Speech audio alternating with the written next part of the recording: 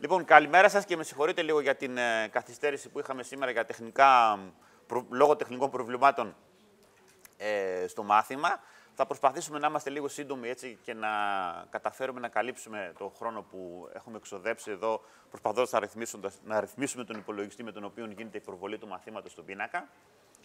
Λοιπόν, στο σημερινό μάθημα, κυρίες και κύριοι, θα καλύψουμε δύο πτυχές του διαφορικού λογισμού. Με λίγα λόγια, θα μιλήσουμε για το πώς μπορούμε να υπολογίσουμε ε, παραγόγους με, με το πρόγραμμα υπολογιστικής άλγευρας, ε, το Μαξίμα, όπως επίσης και να μπορέσουμε να, να μάθουμε πώς να, υπολογίσουμε, να υπολογίζουμε συγγνώμη, ε, ολοκληρώματα. Κάνοντας αυτά τα δύο, μπορώντας δηλαδή, έχοντας μια δεδομένη συνάρτηση, αν θέλετε κάποιες συναρτήσεις, από τις, με τις οποίες μπορούμε να υπολογίσουμε είτε τις παραγόγους τους, πρώτης, δεύτερης, τρίτης τάξης κτλ, όσες χρειαστεί, είτε το ολοκλήρωμά της, ορισμένο, αόριστο κτλ, υπάρχει μια τεράστια ποικιλία από προβλήματα, είτε μαθηματικής ή αν θέλετε και ακόμα πιο κοντά στη δική σας επιστήμης οικονομικής φύσης, τα οποία μπορούμε να λύσουμε. Στην πραγματικότητα, σε συνδυασμό με αυτά που έχουμε πει στα προηγούμενα μαθήματα που αφορούν τα γραφήματα και την επίλυση εξισώσεων ε, γραμμικών, ε, πώς λένε, συγγνώμη, πολυονυμικών ή συστημάτων γραμμικών εξισώσεων, ε, υπάρχουν πάρα πολλά, σχεδόν όλα τα προβλήματα που θα συναντήσουμε σε, σε ένα μάθημα όπως είναι η εισαγωγή στη μικροοικονομική, μπορούμε να τα, να τα επιλύσουμε. Δεν, υπάρχει κάτι το οποίο δεν μπορούμε να κάνουμε, εντάξει. Το, το σημερινό μας μάθημα, από αυτή την άποψη, είναι το τελευταίο μάθημα τεχνικής ε, φύσεως. Αυτό δηλαδή που θα μείνει κοντά στους υπολογιστές και στα μαθηματικά από το αμέσως επόμενο μάθημα της ερχόμενης Δευτέρας και για περίπου τέσσερις εβδομάδες θα καλύψουμε ένα μεγάλο μέρος της ύλης σας του μαθήματος εισαγωγής στα οικονομικά, της, της εισαγωγής στη μικροοικονομική αν θέλετε, κάνοντας επίσης και ένα-δύο, έτσι, τρία, μάλλον ένα-δύο maximum, το πολύ τρία αν προλάβουμε παραδείγματα από, από τη μακροοικονομική, εντάξει, ε, και θα προσπαθήσουμε, σας λέω, να καλύψουμε όσο το, δυνατόν περισσότερα θέματα και προβλήματα. Με λίγα λόγια, το μάθημα θα χάσει λίγο, αν θέλετε, το, το, το τεχνικό του έτσι, χαρακτήρα και τεχνική του φύση και λειτουργώντας πάνω στον υπολογιστή θα προσπαθήσουμε να λύσουμε αλγευρικού και μαθηματικού τύπου προβλήματα οικονομικών. Θα ξεκινήσουμε κατά πάσα πιθανότητα είτε με τη θεωρία της, ε, των προτιμήσεων του καταναλωτή, ε, είτε με την ελαστικότητα. Θα το συζητήσω λίγο με τον συνάδελφο που σας κάνει αυτό το μάθημα για να δούμε τι θα ήταν καλύτερο για να ξεκινήσουμε. Και θα φτάσουμε στη συνέχεια, θα προχωρήσουμε στη συνέχεια με θέματα που αφορούν την ισορροπία της αγοράς, τον τέλειο ανταγωνισμό, την αγορά του μονοπωλίου, τον, το κόστος της επιχείρησης ε, και το καθεξής. Εντάξει. Στην πορεία αυτή, κυρίες και κύριοι, ε, έχετε υπόψη ότι οι εργασίες τις οποίες μπορείτε να παρουσιάσετε μέσα στην τάξη αφορούν πια πολύ διευρυμένα θέματα και επίσης μπορούν να είναι απευθείας προβλήματα που μπορείτε να πάρετε από ένα βιβλίο εισαγωγής στα οικονομικά, είτε ένα είτε δύο, είτε μικρό είτε μάκρο, εντάξει. Ε, ό,τι σας αρέσει. Επίσης, η βαθμολογική επιδότηση αυτών των εργασιών, μετά από καλή παρουσίασή τους στην τάξη, είναι δύο φορές μεγαλύτερη από τις γενικού τύπου παρουσιάσεις που έχουμε κάνει μέχρι στιγμής και που έχετε δει από τους άλλους συναδέλφους. Κατανοητό και αυτό. Ωραία. Λοιπόν, ε, αν θα έχετε απορίες κατά τη διάρκεια του μαθήματος, μπορείτε να με διακόπτετε, σας το ξαναλέω όσο θέλετε. Αναμένετε στο σημερινό μάθημα να έρχεται αρκετές. Δυστυχώς γνωρίζω ότι δεν έχετε όλοι σας το ίδιο έτσι προχωρημένο υπόβαθρο πάνω, στην, ε, πάνω στα μαθηματικά όσον αφορά τις παραγωγούς, τα ολοκληρώματα κτλ.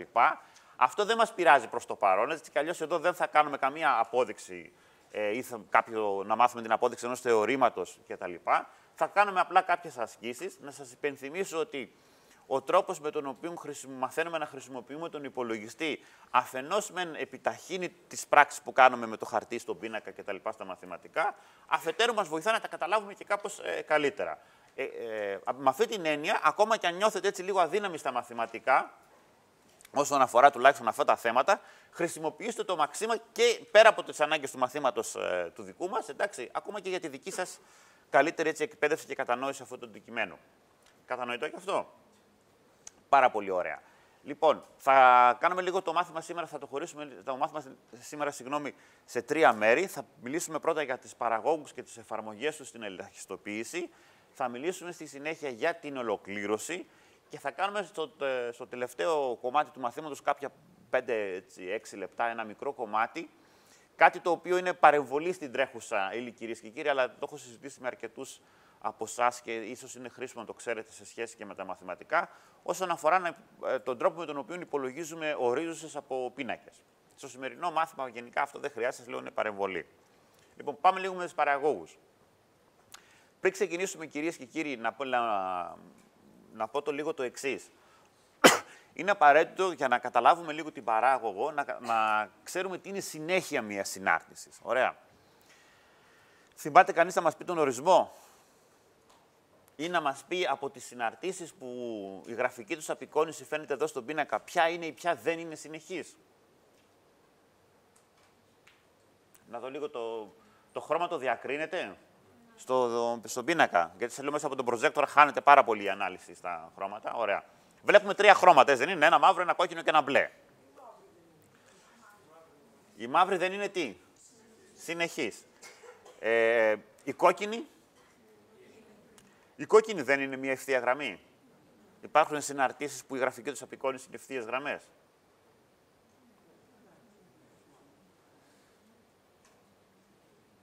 Όλες οι ευθείες είναι συναρτήσεις. Πείτε μια ευθεία που δεν είναι.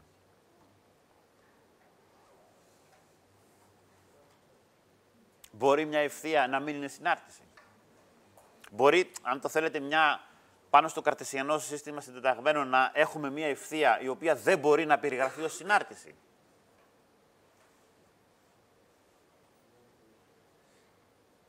Ορίστε.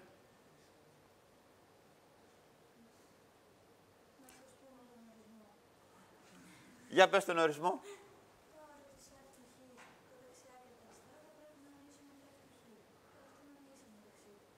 Ωραία, μια χαρά τα λες, εντάξει. Λοιπόν, εδώ στη μαύρη γραμμή που λέτε ότι δεν είναι συνεχής, πώς μπορείς να το δικαιολογήσεις αυτό με βάση τον ορισμό που μας είπες;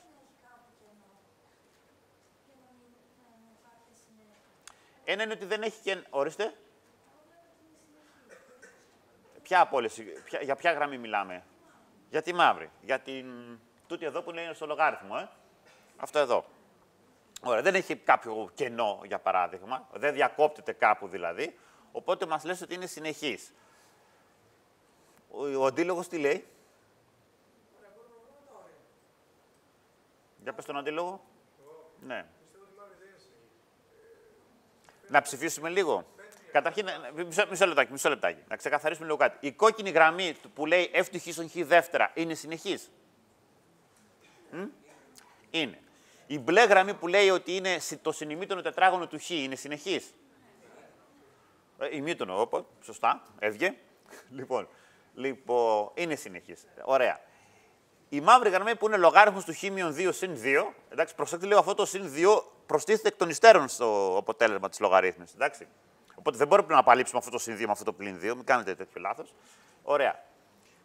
Πόσε αποστάσει πιστεύετε ότι η συνάρτηση, η μαύρη συνάρτηση F του Χ, τούτη εδώ δηλαδή, τη γραφίζουμε λίγο ανάποδα τώρα, είναι συνεχής; Ένας, δύο, τρεις, τέσσερις, πέντε, έξι, εφτά, οχτώ, εννιά. Ορίστε. Άσε το γιατί. Πες μου, είναι να κάνουμε μια ψηφοφορία. Τώρα μου λες γιατί να ψηφίσουμε αυτό το δήμαρχο, να μην ψηφίσουμε έναν άλλον. Ε, βλέπε. Λοιπόν, εννιά, άλλος. Ναι, είναι συνεχής. Δέκα, έντεκα, 12.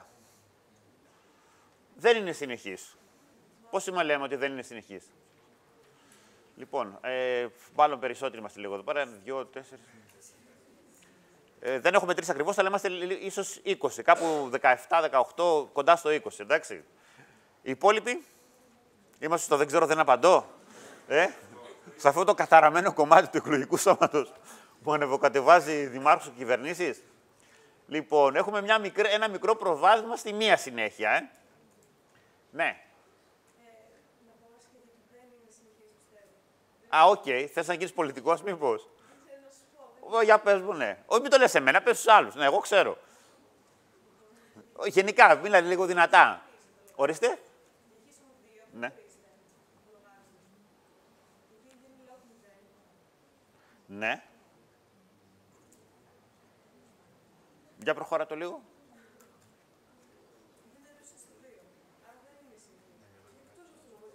Βέβαια.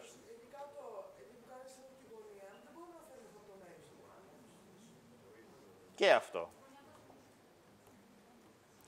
Λοιπόν, να σας πω τώρα λίγο το εξής. Όσοι έχετε συμμετάσχει σε αυτή την ψηφοφορία και είχατε πει ότι είναι συνεχής ή δεν είναι συνεχής. Εντάξει, να πω λίγο ότι γενικά, από ό,τι έχετε καταλάβει, ε, οι περίπου 30 από εσάς που έχετε έτσι, δηλώσει την προτίμησή σας, τη γνώμη σας τέλος πάντων στην συνέχεια ή μη, είστε πολύ λιγότεροι από τους μισούς αυτής της τάξης, δεν είναι; Λοιπόν, όσοι έχετε τέλος πάντων συμμετάσχει σε αυτή την ψηφοφορία, πιστεύετε ότι μπορείτε να εκφέρετε γνώμη ή όχι;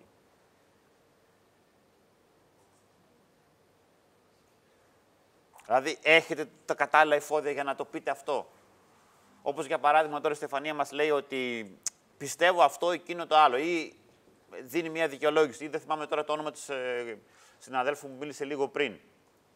Ε, οι υπόλοιποι που έχετε ψηφίσει, είστε σίγουροι για την γνώμη σας; Να το πω λίγο αλλιώς. Είναι κανείς από εσάς που θέλει να υπερασπιστεί την, συγγνώμη, τη συνέχεια αυτής της συνάρτησης; Για την ασυνέχεια ακούσαμε δύο επιχειρήματα. Δεν ορίζεται στο χ δύο, εντάξει. Δεν μπορούμε να φέρουμε φορτωμένη από ό,τι κατάλαβα, Στεφανή, μιλάς για αυτό το σημείο εδώ, ε. Ωραία. Είναι κανείς που θέλει να συνεισφέρει στο επιχείρημα της συνέχειας; Πες το τόσο.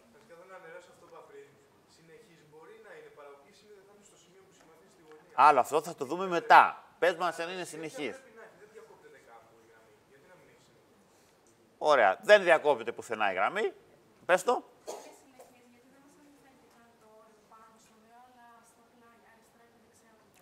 Όσο πλησιάζουμε προς αυτό το σημείο, εντάξει. Άσχετα πόσο μικρή είναι αυτή. Ωραία.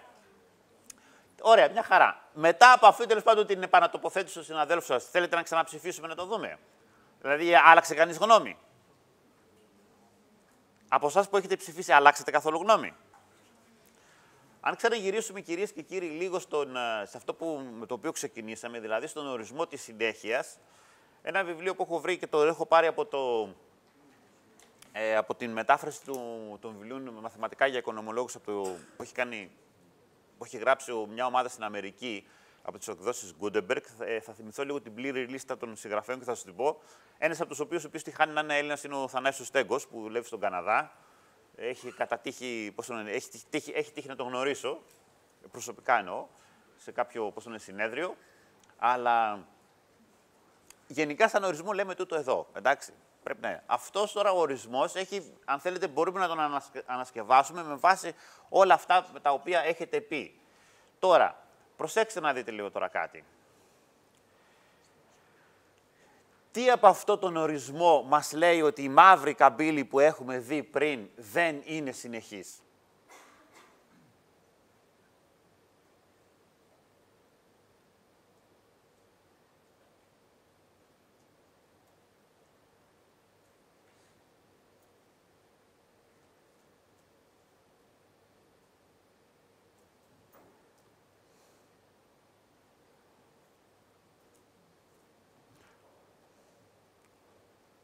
Τι είναι από αυτόν τον ορισμό κάτι που να μας λέει ότι η καμπύλη δεν είναι συνεχής.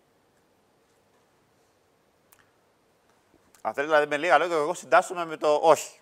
Εντάξει, με το δεν είναι συνεχής. Με την πλειοψηφία δηλαδή, εντάξει, καταπέτηση του δημοκρατικού λαού του αμφιθεάτρου του Τμήματος Οικονομικών Επιστημών. Ε, ε, να το ρίξουμε λίγο και στην πολιτική σήμερα. Εντάξει,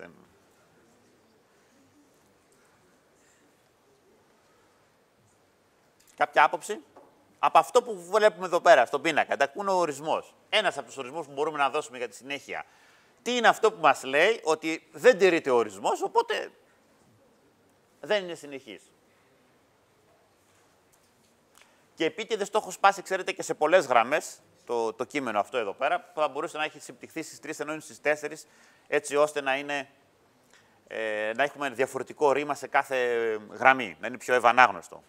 Σε ποια γραμμή μπορούμε να πατήσουμε και να πούμε ότι η συνάρτηση δεν είναι συνεχής; Στην πρώτη, στη δεύτερη, στην τρίτη, στην τέταρτη ή στην πέμπτη, που έχει το φορμαλισμό με την εξίσωση, την ανισότητα.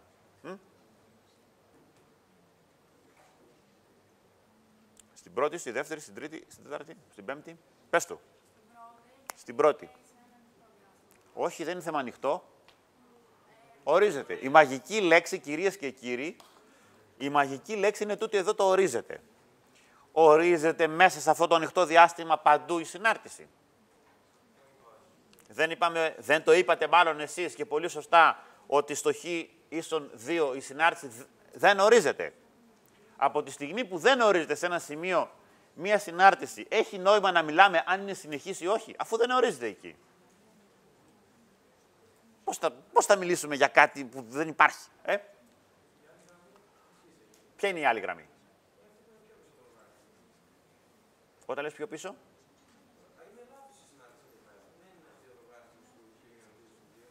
Τι σε κάνει να το πιστεύεις αυτό;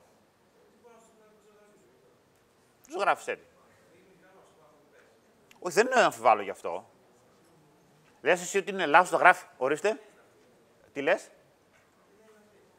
Ορίστε. Δεν, δεν, δεν, δεν σε ακούω καλά. Δεν είναι έτσι καμπύλη αυτό εννοείς; Α, OK. Okay. Πώς πιστεύεις ότι είναι;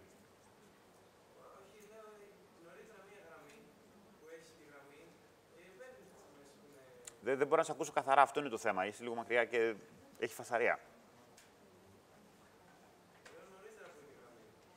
Όταν λες νωρίτερα. Ναι.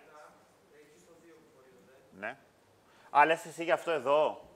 Αυτό εδώ επίτηδες το έχω κάνει. Δεν είναι ακριβώς. Εδώ δεν είναι το 2. Εντάξει. Εδώ είναι το. Δεν φαίνεται αυτό. Ξέχασε το αυτό εδώ πέρα. Το... Αυτό, αυτό εννοείς. Α, όχι, εντάξει, ναι, ναι. Ναι, έτσι όπως το έχεις εδώ πέρα είναι λίγο μπερδεμένο. Έχεις δίκιο σε αυτό, ναι. Αλλά όχι, εδώ πέρα δεν, δεν είναι αναγκαστικά το 2. Ξέχασε το λίγο. Τις γραμμές πλέγματος μην τις βλέπεις καθόλου.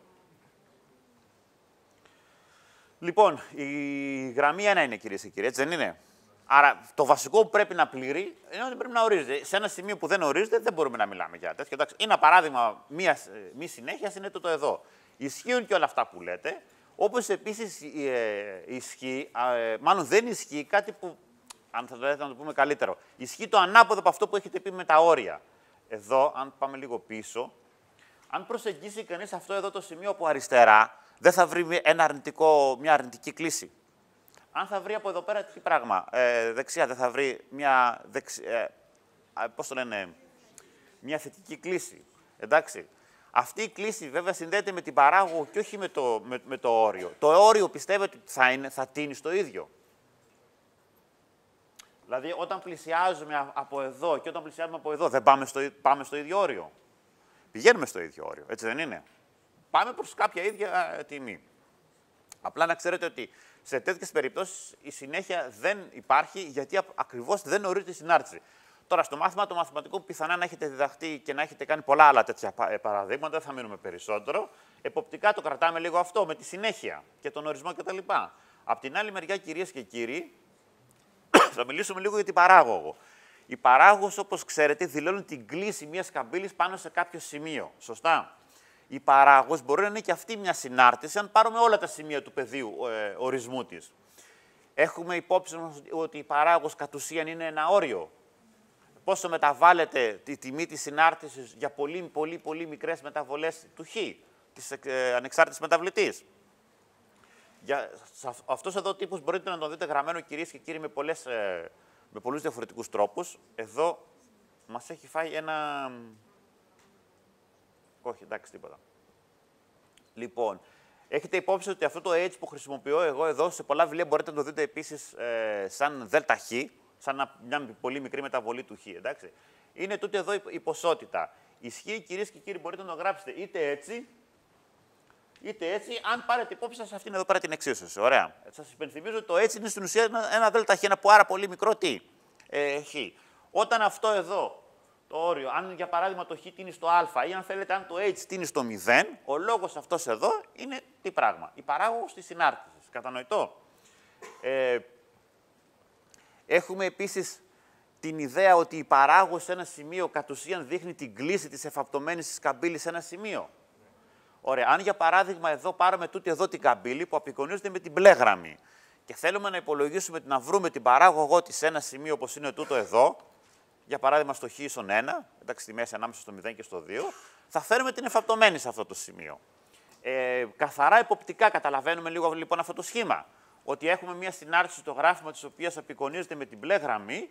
Η εφαπτωμένη στο σημείο τούτο εδώ που είναι με αυτή τη μαύρη κουκίδα είναι μια ευθεία γραμμή εντάξει, η οποία περνάει ακριβώς από ένα σημείο. και ότι η τομή ανάμεσα στις δύο καμπύλες είναι πόσα σημεία; Ακριβώς ένα. Εντάξει, ούτε δύο, ούτε δύο κοντινά, ούτε δύο μακρινά, ούτε κανένα. Είναι ακριβώς ε, ένα. Καταλαβαίνουμε επίσης ότι αυτή η παράγωγος σε αυτό το σημείο μπορεί να υπολογιστεί σαν κλίση αυτής της ευθείας. Προσέξτε να λέω κάτι τώρα. Η... Σε διαφορετικά σημεία της καμπύλης αυτής υπάρχει μια πιθανά διαφορετική τιμή της παραγόγου. Για παράδειγμα, αυτή εδώ η καμπύλη σε κάθε σημείο έχει μια διαφορετική παράγωγο, λέμε. Αυτό σημαίνει ότι η ευθεία που εφάπτεται σε αυτή την καμπύλη έχει διαφορετική κλίση. Η ευθεία όμω ότι εδώ, η οποία απεικονίζεται με την κόκκινη γραμμή, έχει μία κλίση, όποιο ζευγάρι σημείων και να πάρουμε. Στον υπολογισμό που σας δίνω εδώ κάτω στον πίνακα, εγώ έχω πάρει τα ακραία σημεία. Ε, για παράδειγμα, αυτό εδώ, ακραία έτσι όπως είναι στο γράφημα, εντάξει, αυτό εδώ και, και αυτό εδώ. Ωραία. Καταλαβαίνουμε γιατί βγαίνει η παράγωγος να είναι μείον 4. Αυτό το σημείο εδώ πέρα τι συντεταγμένες έχει; Μείον 5, 6 ε, στο χ, ωραία, και μείον 5 στο ψ. Αυτό εδώ έχει μείον 4 στο χ και 35 στο, στο ψ. Αν κάνετε τούτες εδώ τις πράξεις, διαιρέστε δηλαδή αυτό, ε, το λόγο της μεταβολής του ψ ως προς το λόγο της, συγγνώμη, την μεταβολή του ψ ως προς τη μεταβολή του χ, θα πάρετε το μείον 4. Εντάξει. Σε αυτό το σημείο λοιπόν η καμπύλη έχει αρνητική κλίση με, ε, με λόγο το μείον 4. Όταν η, η κλίση μιας καμπύλης είναι μεγαλύτερη σε ένα σημείο από μία άλλη. Για παράδειγμα, πάρουμε ένα άλλο σημείο, στο οποίο έχει κλείσει τούτο εδώ, όχι μείον 4, αλλά έχει μείον 8, το διπλάσιο. Αυτό σημαίνει ότι η καμπύλη εκεί έχει ε, πιο απότομη, πιο ε, μαλακή, έτσι, πιο ε, μικρή μεταβολή. Πιο απότομη. Με λίγα λόγια, αυτό το πλήν συν που μπορούμε να δούμε στην κλίση μας λέει τι πράγμα. Αν είναι θετική ή αρνητική η κλίση, όχι το πόσο απότομη, το συν ή πλήν, το πρόσημο. Βλέπετε ότι εδώ η καμπύλη από αριστερά προς τα δεξιά τι κάνει; Πέφτει προς τα κάτω. Δεν πηγαίνει προς τα κάτω. Άρα, αρνητική παράγωγος μας λέει ότι η ευθεία πηγαίνει προς τα κάτω, θετική παράγωγος αντίστοιχα μας λέει ότι πηγαίνει προς τα πάνω. Ωραία. Και από την άλλη μεριά, το μέγεθος αυτός εδώ μας λέει πόσο μεγάλη είναι αυτή εδώ πέρα η κλίση. Καταλαβαίνουμε όλοι ότι ε, η κλίση μιας ευθείας κατ' ουσίαν μπορεί να αναπαρασταθεί με την εφαπτωμένη της κάθε ευθεία με, σε, πάνω σε ένα καρτεσιανό ε, γινόμενο, εντάξει, αν δεν είναι παράλληλη με τους άξονες, θα σχηματίσει με το κέντρο των αξώνων ένα, ένα τρίγωνο, έτσι δεν είναι; Κάπου θα τέμνει τον χ και κάπου θα τέμνει τον ψ. Ωραία. Ε, αν πάρουμε λοιπόν τη γωνία με την οποία τέμνει τον άξονα χ και βρούμε την εφαπτωμένη της, είναι ακριβώς αυτό εδώ πέρα το νούμερο. Αυτό το μείον 4. Η κλίση δηλαδή μιας ευθείας είναι στην ουσία η εφαπτωμένη της γωνίας της, αν την πάρουμε ως προς τον άξονα χ. Θα σας πω τώρα λίγο το εξής, κυρίες και κύριοι. Θυμά, θυμάστε λίγο το εδώ τον ορισμό, ότι η παράγω είναι ένα όριο το οποίο, για το οποίο αυτό το H οφείλει να είναι ένας πάρα πολύ μικρός αριθμός. Συγγνώμη λίγο. Λοιπόν, θα πάρουμε λίγο τούτον εδώ τον τύπο, έτσι όπως τον βλέπουμε εδώ, εντάξει, και κυρίως θα δούμε λίγο την ε, προσέγγιση του σύμφωνα με, την, ε, με τον τύπο του Νεύτωνα και θα κάνουμε λίγο το εξής παράδειγμα, κυρίες και κύριοι. Καταρχήν θα πάμε λίγο πίσω στο λογιστικό φύλλο, έτσι όπως το ξέρετε, για να κάνουμε λίγο έτσι με πιο απλό τρόπο τις πράξεις.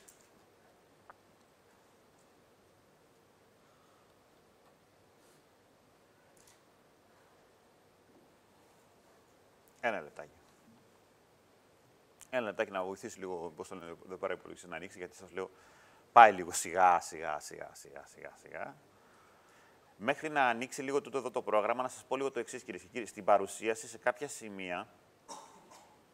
Οπα, συγγνώμη λίγο. Θα βλέπετε να γράφει εδώ, βλέπετε που γράφει ένα, εδώ ένα όνομα αρχείου με μπλε γράμματα. Ωραία, αν κατεβάσετε αυτό το αρχείο PDF από την ιστοσελίδα του μαθήματος, αυτό εδώ είναι ένα αρχείο εντολών στο πρόγραμμα Maxima, το οποίο μπορείτε να το κατεβάσετε μέσα από το αρχείο PDF. Κατανοητό. Αν δηλαδή κάνετε εδώ πέρα δεξί κλικ, πάνω σε αυτό εδώ, βλέπετε που λέει save, εδώ αυτό που λέει save. Τώρα δεν ξέρω κατά πόσο καλά, καθαρά φαίνεται αυτό στην οθόνη σας, αλλά σας το ξαναλέω ότι όλα αυτά τα αρχεία είναι επισυναπτώμενα μέσα. Αν διαλέξετε τούτο εδώ, όλες αυτές οι εντολές που γράφει αυτό το πρόγραμμα, θα μπορέσετε να τις αποθηκεύσετε σαν ένα αρχείο του Μαξίμα και να το εκτελέσετε μέσα από το Μαξίμα. Θα το κάνουμε και εδώ ξανά ως παράδειγμα. Ωραία, μας άνοιξε το λίγο το λόγο. Για να το δούμε λίγο. Ε, αφού το μεγαλώσουμε. Εδώ, κυρίες και κύριοι, έχουμε ένα παράδειγμα μια συνάρτηση, η οποία έχει αυτόν εδώ τον τύπο που βλέπετε. Το β1 στο τετράγωνο μείον 6β1 συν 20. Με λίγα λόγια, είναι σαν να γράφουμε ψ ίσον πόσο; Χ στο τετράγωνο μείον 6χ συν, συν 20. Ποια είναι η παράγωγος αυ, αυτής της συνάρτησης στο σημείο, α, εδώ για παράδειγμα έχουμε το μείον 1. Εδώ ποιο είχαμε, το μείον 1 ήταν εδώ; Όχι, εδώ ήταν το 1. Θα το κάνουμε στο 1 και στο μείον 1 το δούμε. Ή βάλτε και εδώ ένα να είναι το ίδιο. Για να βρούμε κυρίες και κύριοι την παράγω σύμφωνα με αυτόν τον τύπο που έχουμε συζητήσει και την προσέγγιση του με, τον τύπο του νεύτου, να θέλετε καλύτερα, κάνουμε λίγο το εξής. Πρώτον, ορίζουμε ένα πάρα πολύ μικρό h. Θυμάστε πόσο είναι το, το νούμερο; Είναι το 10 στη μείον τετάρτη. Για προγράμματα όπως είναι το λογιστικό φύλλο που κάνουν προσέγγιση, όπως θυμάστε, με βάση τι πράγμα; Αριθμούς και δεν αναλύουν μαθηματικά σύμβολα. Άπειρος μικρός αριθμός δεν υπάρχει. Ωραία, υπάρχουν μόνο πάρα, πάρα πολύ μικροί. Μία προσέγγιση είναι το 10 σημείο 4, δεν είναι και ο μικρότερος αριθμός που μπορούμε να χρησιμοποιήσουμε. Θα δούμε στη συνέχεια πώς μπορούμε να το κάνουμε και ακόμα πιο μικρό. Τώρα, εδώ κυρίες και κύριοι, γράφουμε αυτόν εδώ τον τύπο στο ψ1. Με λίγα λόγια, κάνουμε το εξής. Συγγνώμη. Υπολογίζουμε την τιμή της συνάρτησης στο χ, με, αλλά όταν το αυξάνουμε κατά πόσο; Κατά h. Βλέπετε εδώ που έχει το συν β3, που είναι η τιμή του h. Αυτό εδώ το 1 στη μείον 10. Άρα με λίγα λόγια λέμε, πες μας πόσο κάνει το ψ 1 συν 1 επί 10 στην ε, μείον τετάρτη στο τετράγωνο, μείον 6 φορές το 1 συν 1 συν, επί 10 στη μείον τετάρτη, συν 20. Γι' αυτό και βλέπετε ότι παίρνουμε μια τιμή η οποία διαφέρει λίγο από, από πόσο. Από αυτό εδώ το 15 που είναι η ακριβή τιμή, έτσι δεν είναι. Από την άλλη μεριά τώρα, εδώ, κάνουμε ακριβώς τον ίδιο υπολογισμό, μόνο που αντί για συν έχουμε βάλει τι, πλην. Με λίγα λόγια, προσπαθούμε να προσεγγίζουμε από δεξιά και από αριστερά τη συνάρτηση στο χ, όταν η μεταβολή είναι ένας πάρα πολύ μικρός θετικός αριθμός. Συν h και πλην h. Ωραία. Ε, αυτή είναι εδώ τη τιμή, κυρίες και κύριοι, στη συνέχεια που παίρνουμε αυτά τα ψ1 και ψ1 και ψ2 εδώ, τα αφαιρούμε μεταξύ τους και τα διαιρούμε με το διπλάσιο του h. Αυτός είναι ο περίφημος τύπος του νεύτωνα για τον υπολογισμό της παραγόγου με αριθμητική προσέγγιση. Και κοιτάξτε πόσο, πόσο πήραμε. Το μείον 3,9999 και κάπου στην άκρη είναι το 56. Δηλαδή χάσαμε σε ποιο ψηφίο το μείον 4. Προηγουμένως δεν είχαμε δείξει ότι στο συν 1 η τιμή της παραγόγου είναι μείον 4. Εδώ σε ποιο σημείο, σε ποιο δεκαδικό το χάσαμε. Το διαβάζει κανείς; 13ο είναι 12ο, κάτι τέτοιο. Ε. Άρα πάρα πολύ μικρό σφάλμα, έτσι δεν είναι; Ωραία. Αν θέλετε να κάνουμε λίγο το εξής εδώ πέρα. Αν αυτό εδώ το μικρύνω, για παράδειγμα το κάνω 10 στη μείον τρίτη, πιστεύετε ότι η προσέγγιση θα είναι καλύτερη ή χειρότερη; Θα είναι χειρότερη, εντάξει. Βλέπετε ότι εδώ καταρχήν πήγαμε τώρα πιο κάτω από το μείον 4, άλλαξαμε δηλαδή και κατεύθυνση και από την άλλη μεριά έχουμε χάσει ένα ψηφίο. Αν αυτό εδώ το κάνουμε ακόμα πιο μικρό, μείον ένα.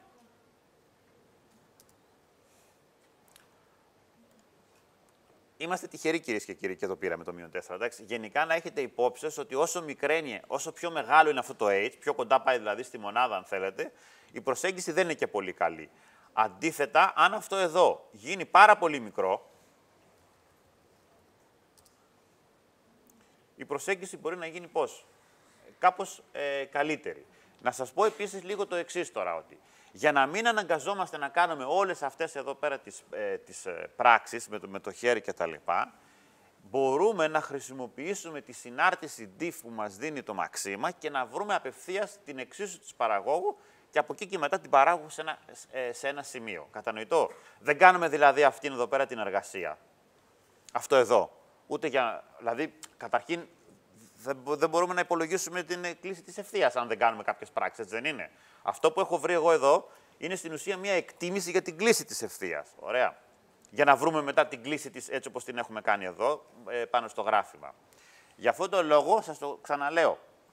Ναι, μπορούμε να υπολογίσουμε με βάση τον τύπο του νεύτωνο την παράγωγο μιας συνάρτησης, απλά διαιρώντας το ΔΠ προς ΔΧ, αλλά αυτό είναι μόνο μια προσέγγιση. Σωστά; Για να κάνουμε ακριβή λύση, κυρίες και κύριοι, εργαζόμαστε ως εξής. Για κοιτάξτε λίγο παρακάτω εδώ τώρα.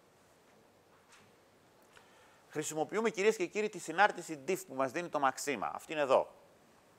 Έτσι όπως τη βλέπουμε εδώ πέρα. Κοιτάξτε λίγο τι σημαίνουν τα παραδείγματα που βλέπουμε στον πίνακα. Το πρώτο παράδειγμα μας λέει δώσε μου την παράγωγο της συνάρτησης χ τετράγωνο ως προς χ. Σας υπενθυμίζω ότι παράγωγος μιας συνάρτησης γενικά είναι και αυτή η συνάρτηση. Εντάξει. Για να βρούμε, για παράδειγμα, ε, την παράγωγο αυτού του χ τετράγωνο στο σημείο χ στον 1, θα πρέπει να βάλουμε το 1 όχι στο χ τετράγωνο, αλλά πού; Στο 2χ, εδώ. Αυτό εδώ σας λέει ότι θα καλέσουμε τη συνάρτηση και την, αν θέλετε την εντολή div.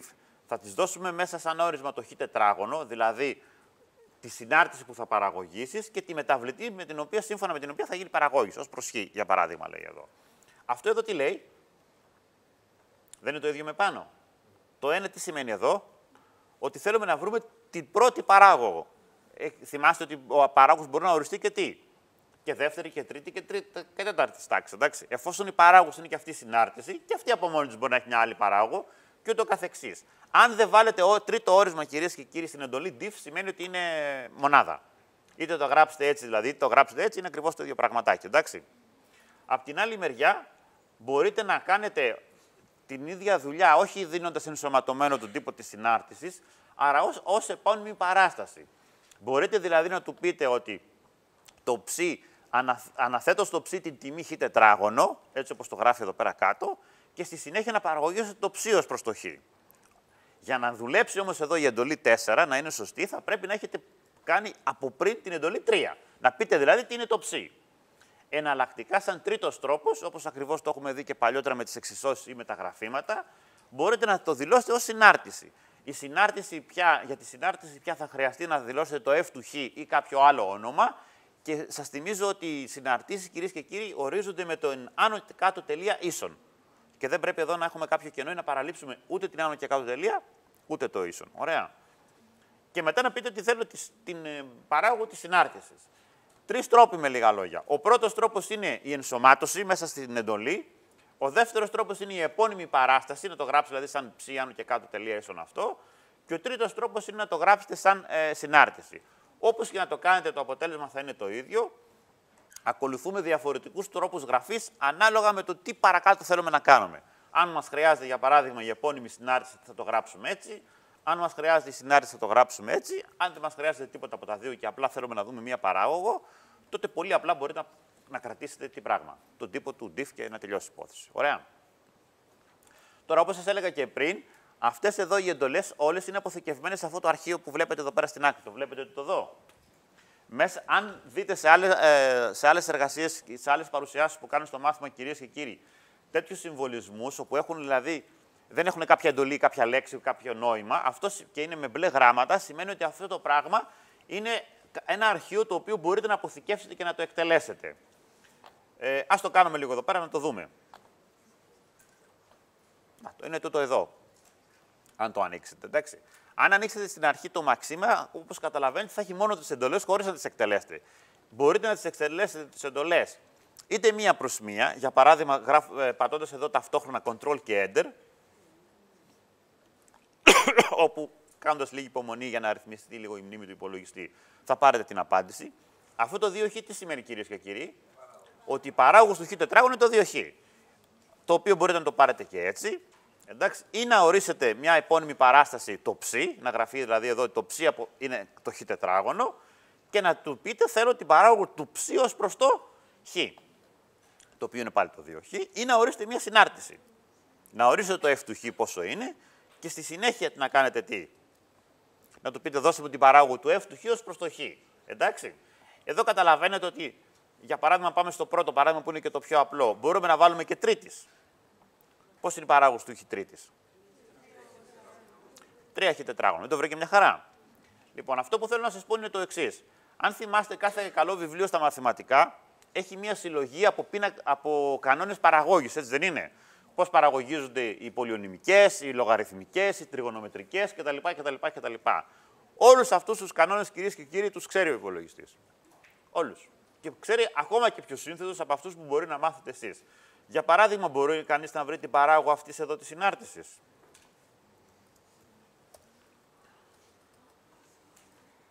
Ε, ας σβήσουμε το Πας συγγνώμη λίγο.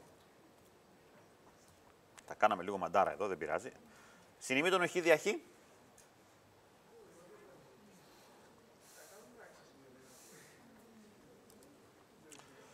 Είναι το εδώ, τη θυμάστε; Ωραία. Μάλλον θα κάνω λίγο, ας το γράψω λίγο εδώ για να μας δώσεις ένα απάντηση το μαθημα, τη μαθηματική μορφή.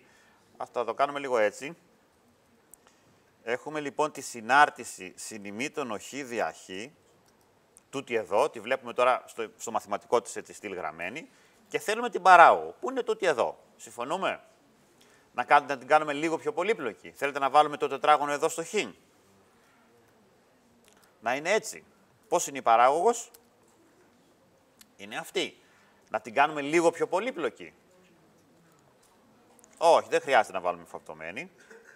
Μπορούμε να βάλουμε στον παρονομαστή το ένα σύγχυ τετράγωνο, να είναι πολυώνυμο και να έχει και σταθερό όρο. Να είναι έτσι. Πώς είναι η παράγωγος; Είναι έτσι.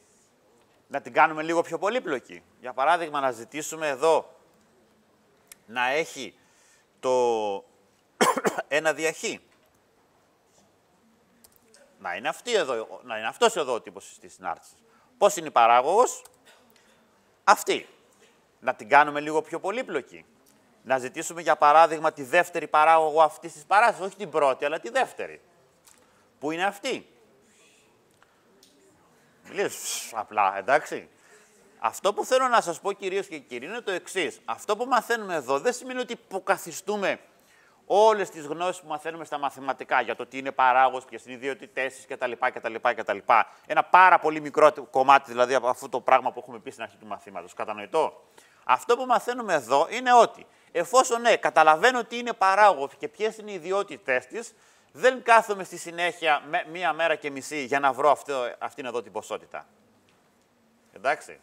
Γράφω αυτόν εδώ τον τύπο. Η δεύτερη παράγωγος του συνημήτων ένα διαχεί, διαχεί τετράγωνος ένα είναι αυτό εδώ. Το παίρνω, φεύγω, γεια σας, ευχαριστώ πολύ και τελείωσε η υπόθεση. Εντάξει. Επιταχύνω, αν καταλαβαίνω, το υπολογιστής με βοηθάει να επιταχύνω. Αν δεν καταλαβαίνω, ο υπολογιστής με βοηθάει να μάθω και να επαληθεύσω μια άσκηση.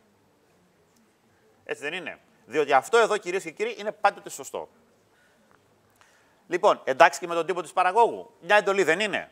Θυμόμαστε λοιπόν ότι αν δεν βάλουμε τίποτα εδώ σαν τρίτο όρισμα θα βρεθεί η πρώτη παράγωγος. Εντάξει, αν θέλουμε δεύτερη, τρίτη, τέταρτη, πέμπτη, έκτη κτλ. Θέλετε την έκτη παράγωγο για παράδειγμα. Νάτι. Γιατί μονομία, μπορεί να μην είναι μονομία. Ναι, πες το.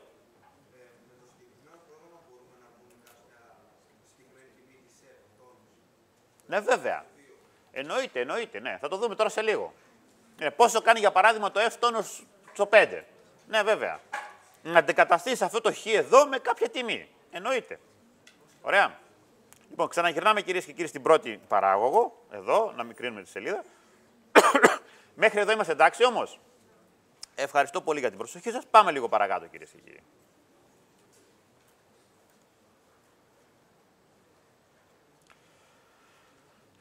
Εδώ βλέπουμε, κυρίες και κύριοι, μια σειρά από συναρτήσεις που έχουν μεγαλύτερη πολυπλοκότητα, παρόμοια με αυτή που έχουμε ε, ήδη δείξει, εντάξει. Μπορείτε να το κάνετε μόνοι σας το παράδειγμα εδώ που λέει το div2. Ε, Ένα-δύο παραδείγματα σας έχω δείξει ήδη. Κατανοητό. Με λίγα λόγια, δεν, δεν σταματάμε στις πολυονομικέ συναρτήσει όπου έχουν ένα απλό κανόνα παραγώγησης. Μπορείτε να δοκιμάσετε και άλλους ακόμα πιο πολύπλοκους ε, τύπους. Όπως επίσης έχουμε πει, μπορούμε να κάνουμε παραγόγου οι οποίοι έχουν τι; Είναι μεγαλύτερης τάξης. Ωραία. Για παράδειγμα, μπορούμε να βρούμε την δεύτερη παράγωγο του χ τρίτης, να βρούμε τη δεύτερη παράγωγο του συνημητώνου χ, την τρίτη παράγωγο του χ επί a στη μείον χ, την τέταρτη παράγωγο του μείον 1 προς χ και ούτω καθεξής, όπως σας έδειξα ε, λίγο πριν. Σε αυτές τις περιπτώσεις, κυρίες και κύριοι, που το δείχνουμε και εδώ στο πρόγραμμα, σας το ξαναλέω ότι μπορείτε να κατεβάσετε το, το αρχείο και να το εκτελέσετε και μόνοι σας, εντάξει; Εντάξει και με αυτό. Δεν νομίζω ότι έχουμε έτσι μεγαλύτερη δυσκολία. Λοιπόν, τώρα, νέο κεφάλαιο, κυρίες και κύριοι, σε αυτή την υπόθεση, είναι όταν έχουμε συναρτήσεις οι οποίες έχουν περισσότερες από μία μεταβλητές. Για παράδειγμα, πάρτε τούτο εδώ τη συνάρτηση που είναι η συνάρτηση δύο μεταβλητών. Ωραία. Στα οικονομικά, όπως καταλαβαίνετε, έχουμε πάρα πολλές, τέτοιου, ε, πάρα πολλές συναρτήσεις ε, τέτοιου τύπου. Κλασική, κλασικότατη περίπτωση είναι η συνάρτηση χρησιμότητας, η οποία έχει πόσες μεταβλητές; Συνήθω. Συνήθως δύο. Εντάξει. Δύο έχει το βιβλίο. Δεν είναι... Η δική σου χρησιμότητα, για παράδειγμα, πόσες μεταβλητές έχει; Δύο.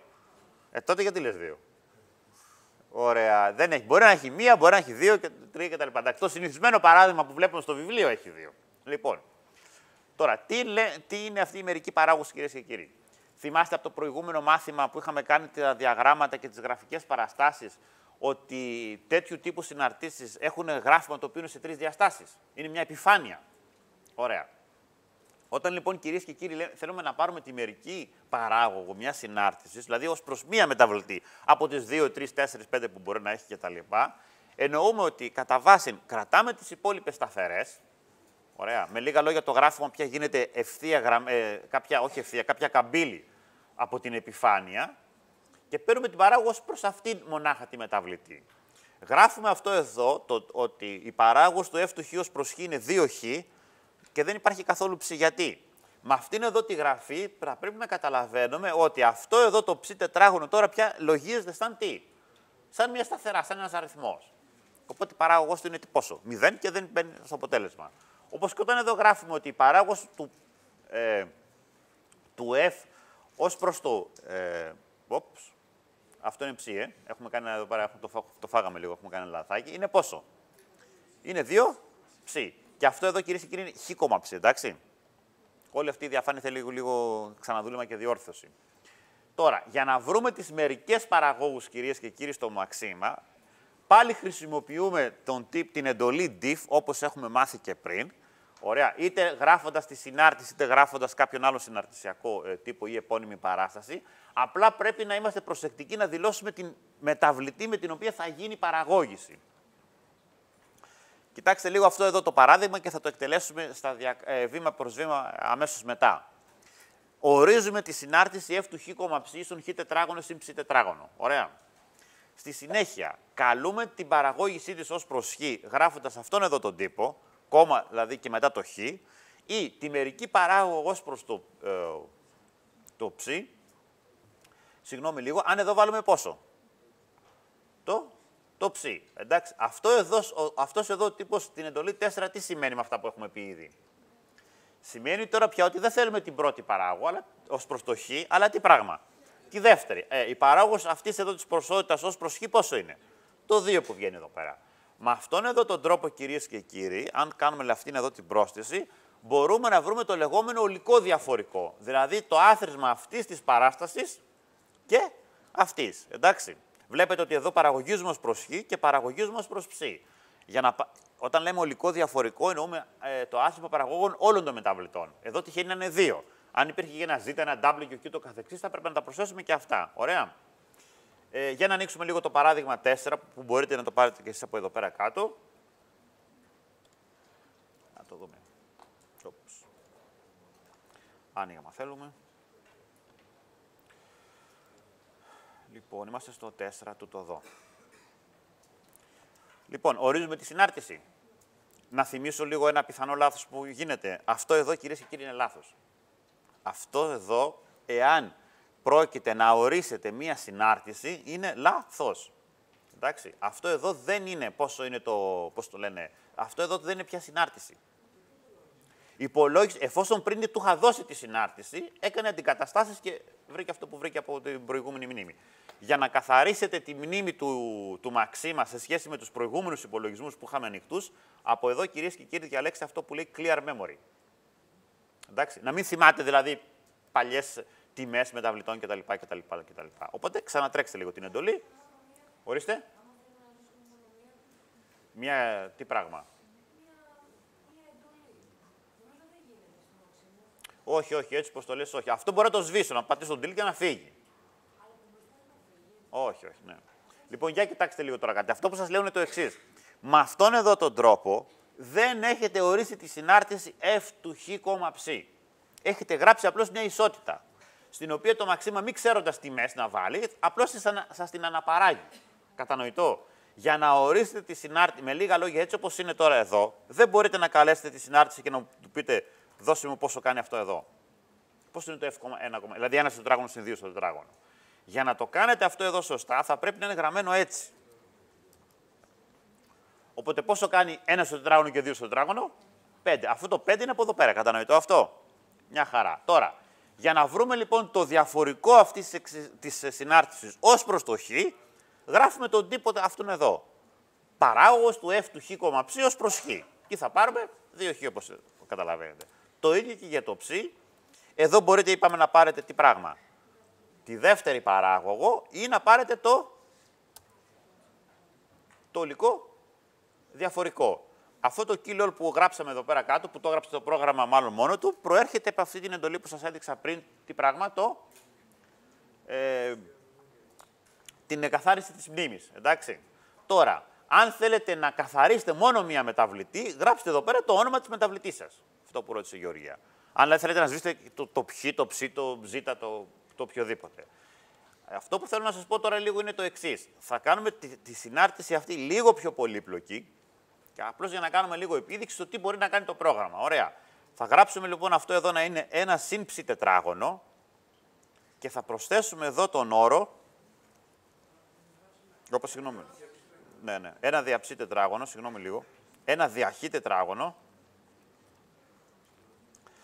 Και εδώ, οπα... δεν χρειάζεται αυτό εδώ το συν. Θα γράψουμε λίγο το πολυόνυμο χ ψ. Διαψή τετράγωνο θα είναι η συνάρτηση έτσι. Ωραία. Ποια είναι η παράγωγος ως προς Από αυτό. Όταν λέμε παράγωγος ως προς ψ, σημαίνει ότι ως προς σημαίνει τι πράγμα; Το ψ είναι τι; Ότι είναι αριθμός, ότι είναι μια σταθερά. Αυτός εδώ είναι ο τύπος της, εντάξει. Όταν λέμε λοιπόν παράγωγος ως προς ψ, θα πάρουμε αυτή την ποσότητα, αυτό προς το παρόν δεν το χρειαζόμαστε. Χρειαζόμαστε όμως το ολικό διαφορικό, το οποίο είναι πόσο. Αυτό εδώ. Επανέρχομαι λοιπόν στην προηγούμενη κουβέντα να σας, και σας λέω λίγο το εξής. Το πρόγραμμα αυτό γνωρίζει όλους τους κανόνες παραγώγησης, οπότε μην παιδεύεστε ε, άδικα όσον αφορά το αν το κάνει σωστά ή δεν το κάνει σωστά. Ωραία. Αυτό το οποίο πρέπει να γνωρίζετε είναι ότι μάλλον το χρησιμοποιείτε προς δύο κατευθύνσεις. Ένα είναι ότι καταλαβαίνω ότι είναι τα μερικά διαφορικά, τα ολικά διαφορικά κτλ. με αυτά που ξέρω από τα μαθηματικά και θέλω να επιταχύνω την εργασία μου, οπότε το κάνω με έναν υπολογιστή. Ή δεν καταλαβαίνω, οπότε θέλω ένα παράδειγμα για να το επαληθεύσω. Και πάει λέγοντας. Είτε δηλαδή το χρησιμοποιείτε για ανάπτυξη της εργασίας σας, είτε το χρησιμοποιείτε για εκπαίδευση. Εντάξει, είμαστε και με τα ολικά διαφορικά. Θα προχωρήσουμε;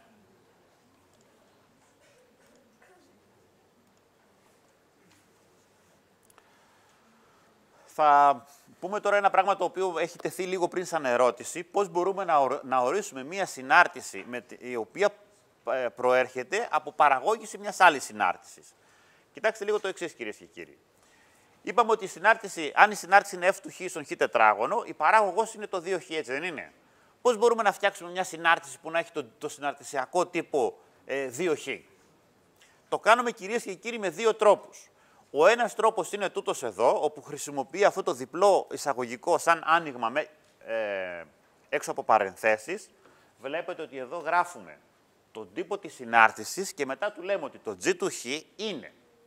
Προέρχεται από την παραγώγηση του F του Χ ως προς το Χ, συγγνώμη, αλλά το αποτέλεσμα αυτής της παράστασης, με τη χρήση του τελεστή του διπλού εισαγωγικού εδώ στην αρχή, προσέξτε και τις παρενθέσεις που χρειάζονται να περικλείσουν όλη την παράσταση, θα πάει πού; Στο G του Χ. Από τη στιγμή που έχω το G του Χ ως ορισμένη συνάρτηση, τότε μπορώ να καλέσω να μου υπολογίσει την παράγω όπου θέλω εγώ. Εναλλακτικά, μπορείτε να χρησιμοποιήσετε τη συνάρτηση define. Να του πείτε δηλαδή ότι θέλω να ορίσεις το G του Χ, κόμμα, να είναι η παράγωγος του F του Χ ως προς το Χ.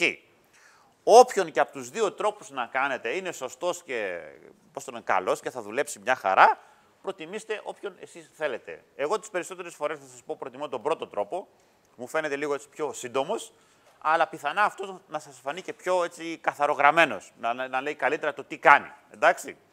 Με αυτόν τον τρόπο, σας το ξαναλέω, μπορούμε να κάνουμε κάτι πάρα πολύ χρήσιμο, έχοντας μια συνάρτηση, να ορίσουμε μια καινούρια με βάση την ε, παράγωγό της. Δείτε λίγο το, το εξής παράδειγμα, κυρίε και κύριοι, που έχουμε πει και πριν.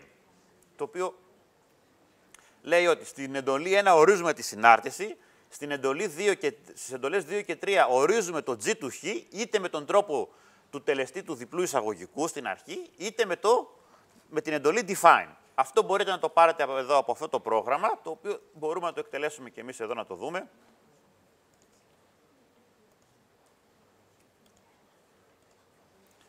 Λοιπόν, το f του χ είναι τούτο εδώ. Το g του χ τότε μπορεί να είναι είτε έτσι, είτε έτσι. Όπως, όπως το θέλετε εσείς. Τι σημαίνει ότι έχουμε μια συνάρτηση f του χ; Σημαίνει, για παράδειγμα, ότι μπορούμε να βρούμε την τιμή της αυτό το χ. Αν πόσο χ θέλετε να βάλουμε; Για πες μια τιμή. Ναι. Ναι, θέτεις, θε, δίνεις το όνομα ε, της παραγόγου στο G, συγγνώμη, τον τύπο της παραγόγου στο G. Κοίταξε να δεις, κοιτάξτε λέει να δεις τι κάνει. Πώς είναι το F του Χ, αν το Χ είναι 4. 16. Πώς είναι το, σε αυτό το σημείο, πώς είναι η τιμή της παραγόγου;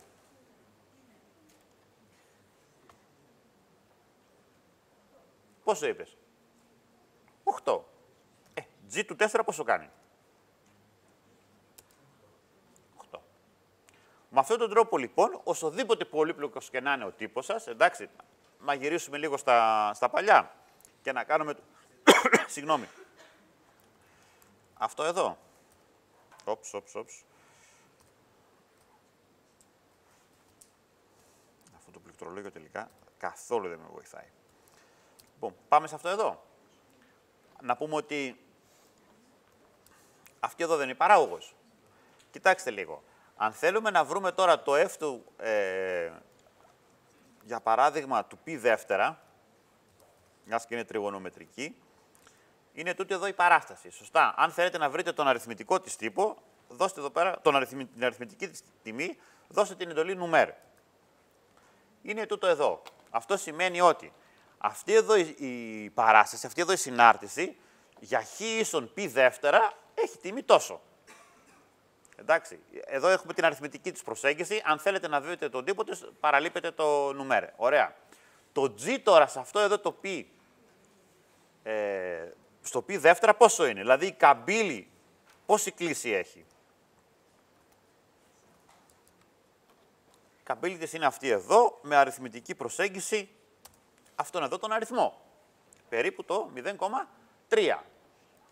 Για να σας βοηθήσω επίσης σας λέω το εξής, ότι μπορείτε αν θέλετε να κάνετε το γράφημα της συνάρτησης f του χ, για παράδειγμα για χ από το μείον, ε, πώς το λένε, π, έως το π, τι παρατηρείτε ότι; Γιατί η συνάρτηση βλέπετε ότι έχει πάει έτσι; Δεν είναι ότι έχει κολλήσει πάνω στον άξονα, είναι συνεχής. Αυτή εδώ η συνάρτηση είναι συνεχής. είναι συνεχής αυτή η συνάρτηση. Πώς θα είναι συνεχής; Στο, στο μείον ποιος ως πει. Αν εδώ του δώσετε αυτό εδώ,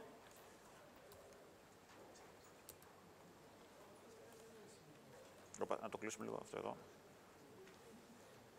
Πάλι εδώ πέρα έχουμε συνέχεια, δεν είναι; Για να δείτε κυρίες και κύριοι, αυτές τις ε, γραφικές παραστάσεις, σύμφωνα με αυτά που έχουμε πει στο μάθημα για, περι... για περιοχές όπου δεν έχουμε συνέχεια ή όπου δεν ορίζεται, τι κάνουμε; Αυτό που είχαμε κάνει στην συνάρτηση λογαρίθμου στο γράφημα στο προηγούμενο μάθημα, δώστε εδώ πέρα μια λίγο μεγαλύτερη τιμή.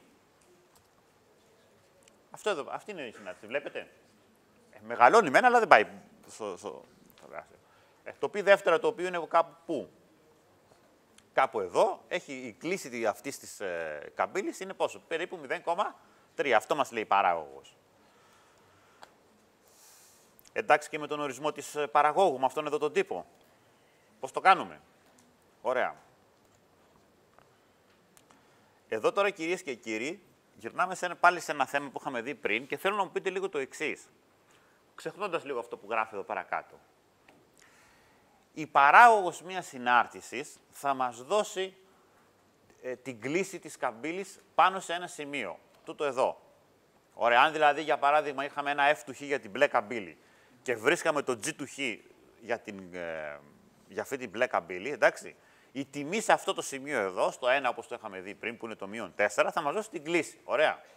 Αν θέλουμε να περιγράψουμε όμως αυτή την κόκκινη καμπύλη με μία εξίσωση, με μία συνάρτηση, ε, πώς θα το κάναμε;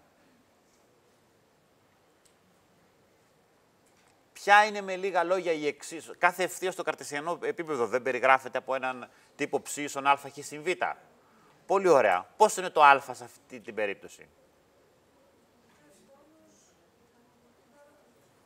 Η παράγωγος σε αυτό το σημείο. Ωραία, εντάξει. Λοιπόν, ε, το β, ο σταθερός όρος αυτής της ε, εξίσωσης,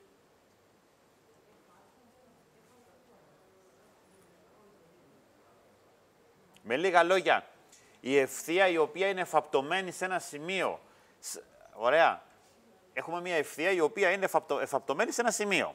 Αυτή η ευθεία που τέμνει τον άξονα, ε, τον κάθετο άξονα ψ. 35 στο παράδειγμα. Γενικά, πώς το βρίσκουμε αυτό; Γιατί 35 σημαίνει για αυτό το σημείο. Αν το σημείο ήταν κάποιο άλλο, πού θα ήταν; Πες το.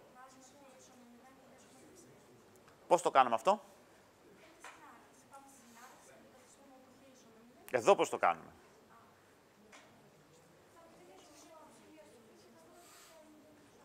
Ε, βασικά θέλουμε να βρούμε εδώ. Αυτό β είναι το σημείο που, όταν λέμε ψ στον α και συν β, αυτό το β είναι το σημείο στο οποίο τι κάνει αυτή η ευθεία.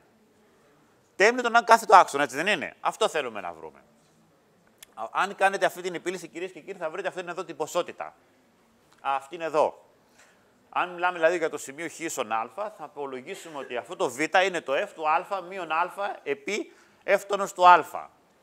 Σε αυτό εδώ, το, αυτό εδώ τώρα που σας λέω είναι άλλη μία πιθανή, το οποίο σας το αφήνω σαν άσκηση, είναι άλλη μία πιθανή εργασία σας για το μάθημα. Να το υπολογίσετε δηλαδή με το μαξίμα. Πώς υπολογίζουμε το σημείο στο οποίο μία εφαπτωμένη τέμνει τον κάθετο άξονα. Ε, θα το δούμε λίγο το γράφημα τούτο εδώ, κυρίες και κύριοι, ως εξής, με αυτές εδώ πέρα τις εντολές. Σαν γράφημα δηλαδή, το θα το εκτελέσουμε, να το, να το δείτε λίγο. Από αυτό δεν το χρειαζόμαστε. Ήμασταν εδώ στο 6.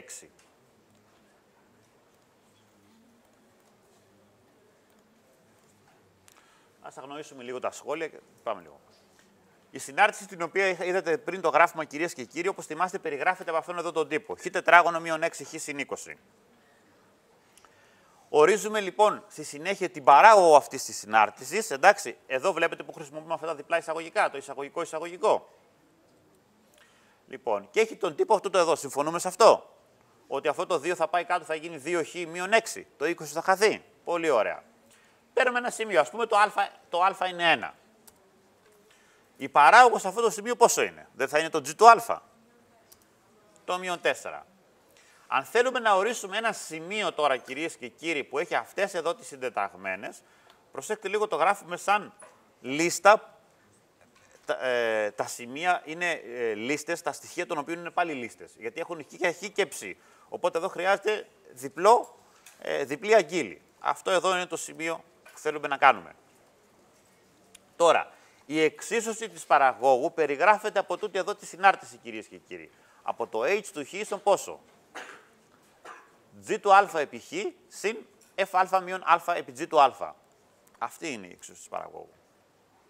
Προσέξτε λίγο. Αυτό το 19 μείον 4χ, ή αν θέλετε μείον 4χ συν 19, ισχύει για, για ποιο α; Για α ίσον 1. Αυτός εδώ ο τύπος όμως της παραγόγου, το g του χ σου μείον ε, ίσον 2 χ 6 ισχύει για ποιο α.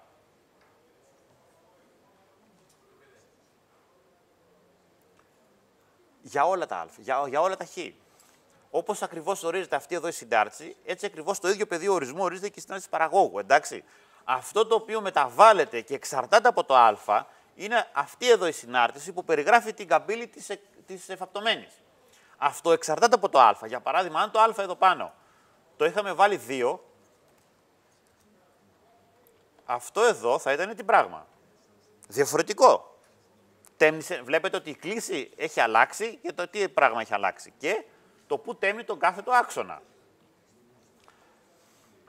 Συγγνώμη, το κάναμε πάλι ένα. Ναι. Το.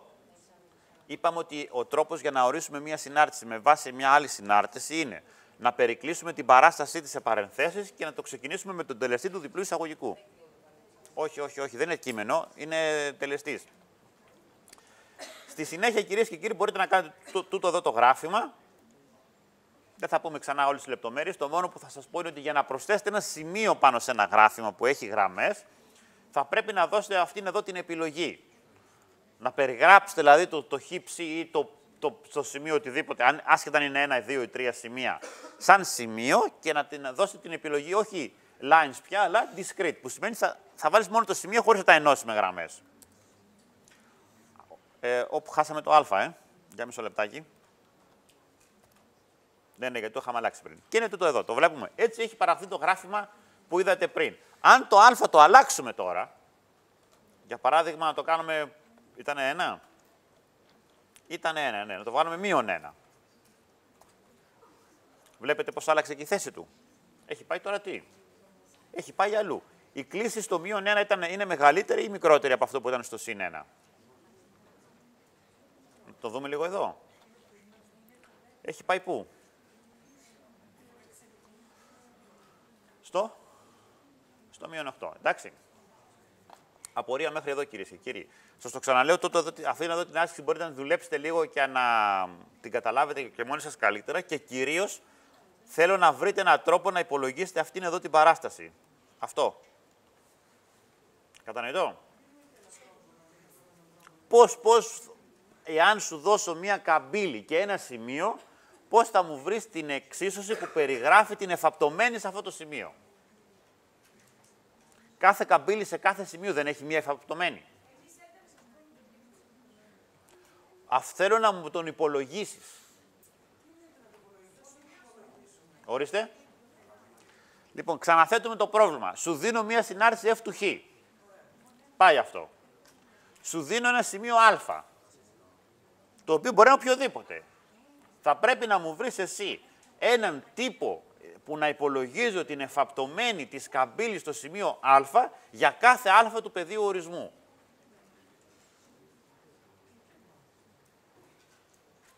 Αυτό το πράγμα που σου ζητάω είναι, είναι μία ευθεία γραμμή, δηλαδή είναι ένα ψήγισον α χ συν β. Εντάξει. Έχει μία κλίση και ένα σταθερό όρο. Αυτός, αυτή η κλίση και αυτός ο σταθερός όρος δεν εξαρτώνται από το α. Από το σημείο αυτό. Αυτό θέλω να μου πεις. Άρα είναι συνάρτηση με βάση μια άλλη συνάρτηση.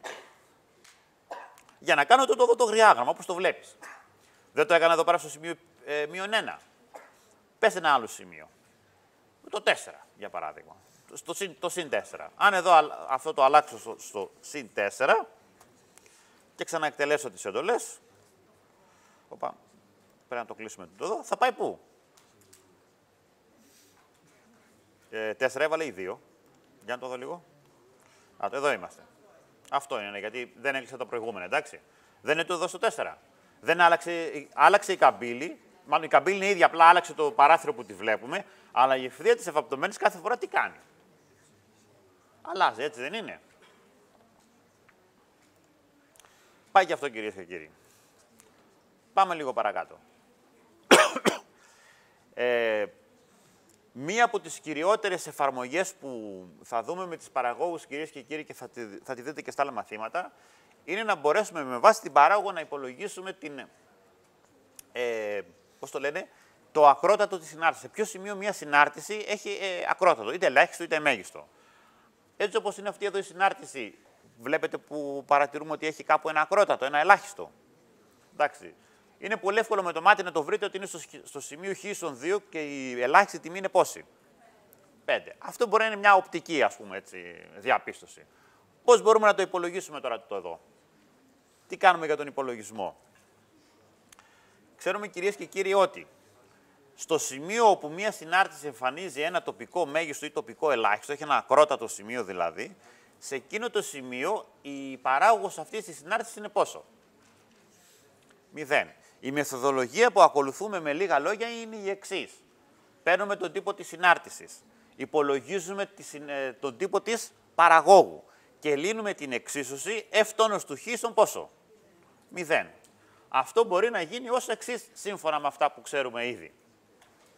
Ο ορισμός της συνάρτησης εδώ με την εντολή νούμερο 1, f του χ άνω και κάτω τελεία ίσον αυτό που μας δίνει το πρόβλημα, Στη συνέχεια μπορείτε να ορίσετε την παράγωγο αυτής της συνάρτησης. Εδώ την έχω συμβολήσει με το F1 αντί με το G, αλλά αυτό είναι δικό σας θέμα. Πείτε το όπως θέλετε. Κλίση της εντολής solve για να λύσουμε την εξίσωση F τόνος του χ ή f1 του χ, αν θέλετε, όπως είναι γραμμένο εδώ στον πίνακα, ίσο με το 0 για να υπολογίσουμε τις ρίζες αυτές. Εντάξει. Και ανάλογα με την περίπτωση, κυρίες και κύριοι, εδώ είμαστε τυχεροί γιατί έχουμε μόνο μία ρίζα. Αποθηκεύουμε αυτές τις ρίζες σε μεταβλητές και σε αυτές τις τιμές η παράγω, στις τιμές στις οποίες η παράγω μηδενίζεται, η συνάρτηση έχει ακρότατα. Το πρόβλημα που έχουμε δει με βάση αυτό το γράφημα και αυτή είναι εδώ την προσέγγιση περιγράφεται σε τούτο εδώ το αρχείο, το οποίο μπορείτε να το δείτε και μόνοι σας και θα το δούμε και τώρα όλοι μαζί. Μισό λεπτάκι. Ε, το κλείσαμε το Μαξίμα, όχι.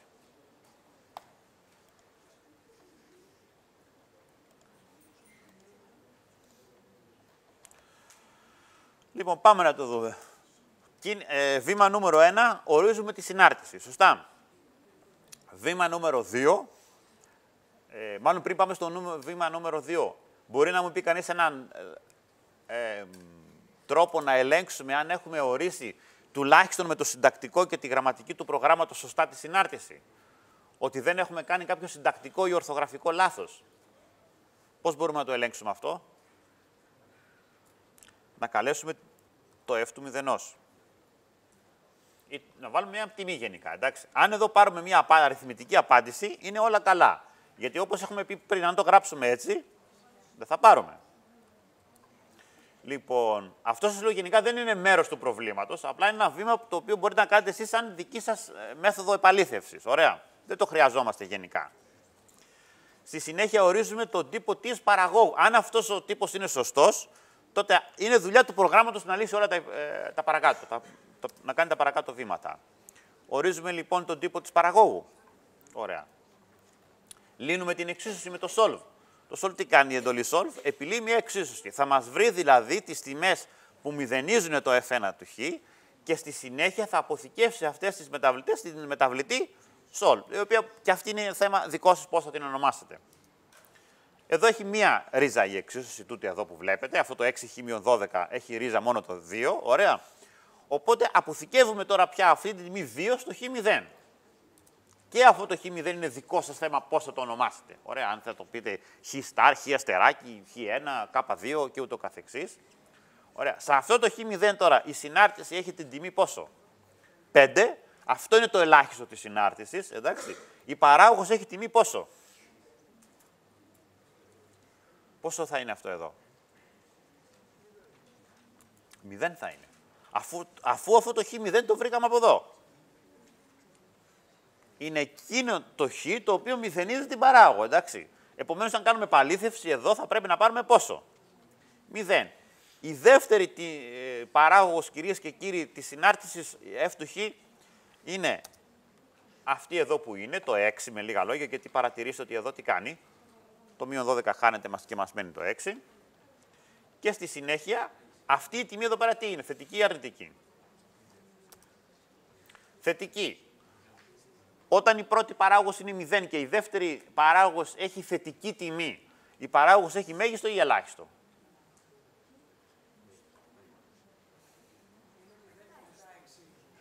Ναι, η δεύτερη παράγωγος είναι 6. Δεν μας πειράζει το 6 ή το, γενικά το οποιοδήποτε αριθμός. Αυτό το οποίο ελέγχουμε είναι αν είναι 0, αν είναι 1 ή αν είναι, αν είναι πλήν ή συν. Είναι θετικό. Επομένως τι έχει;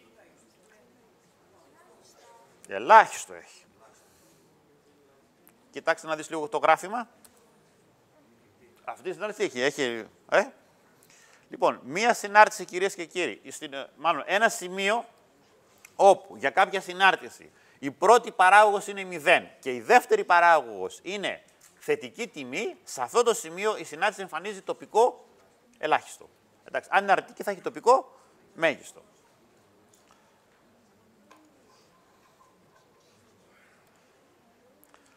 Αν έχουμε περισσότερα ακρότατα όπως εδώ,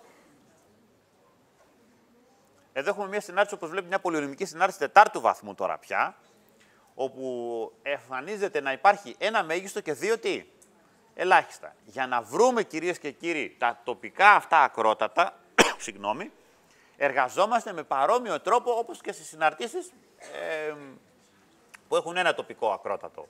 Λοιπόν, ορίζουμε τη συνάρτηση και περιμένουμε ότι η εξίσωση της παραγόγου, θα λύσουμε την εξίσωση της παραγόγου, συγγνώμη, και στις ρίζες της, αυτής της εξίσωσης θα πούμε ότι εμφανίζονται τα τοπικά αυτά ακρότατα. Αν κάνετε τον, τον κόπο να λύσετε αυτήν εδώ την εξίσωση, θα πάρετε αυτές εδώ τις ρίζες. Πώς το κάνουμε εδώ στο μαξίμα; Πρώτο βήμα, ορίζουμε τη συνάρτηση, το F του Χ. Δεύτερο βήμα, ορίζουμε τη συνάρτηση της πρώτου παραγόγου. Τρίτο βήμα, λύνουμε την εξίσωση της παραγόγου ίσο με το 0. Το F1 του Χ ίσον με 0. Τέταρτο βήμα, αποθηκεύουμε αυτές τις τιμές σε κάποια μεταβλητή. Συγγνώμη. Εδώ εγώ χρησιμοποιώ τη μεταβλητή sol, αλλά εσείς μπορείτε να την αλλάξετε όπως θέλετε εσείς.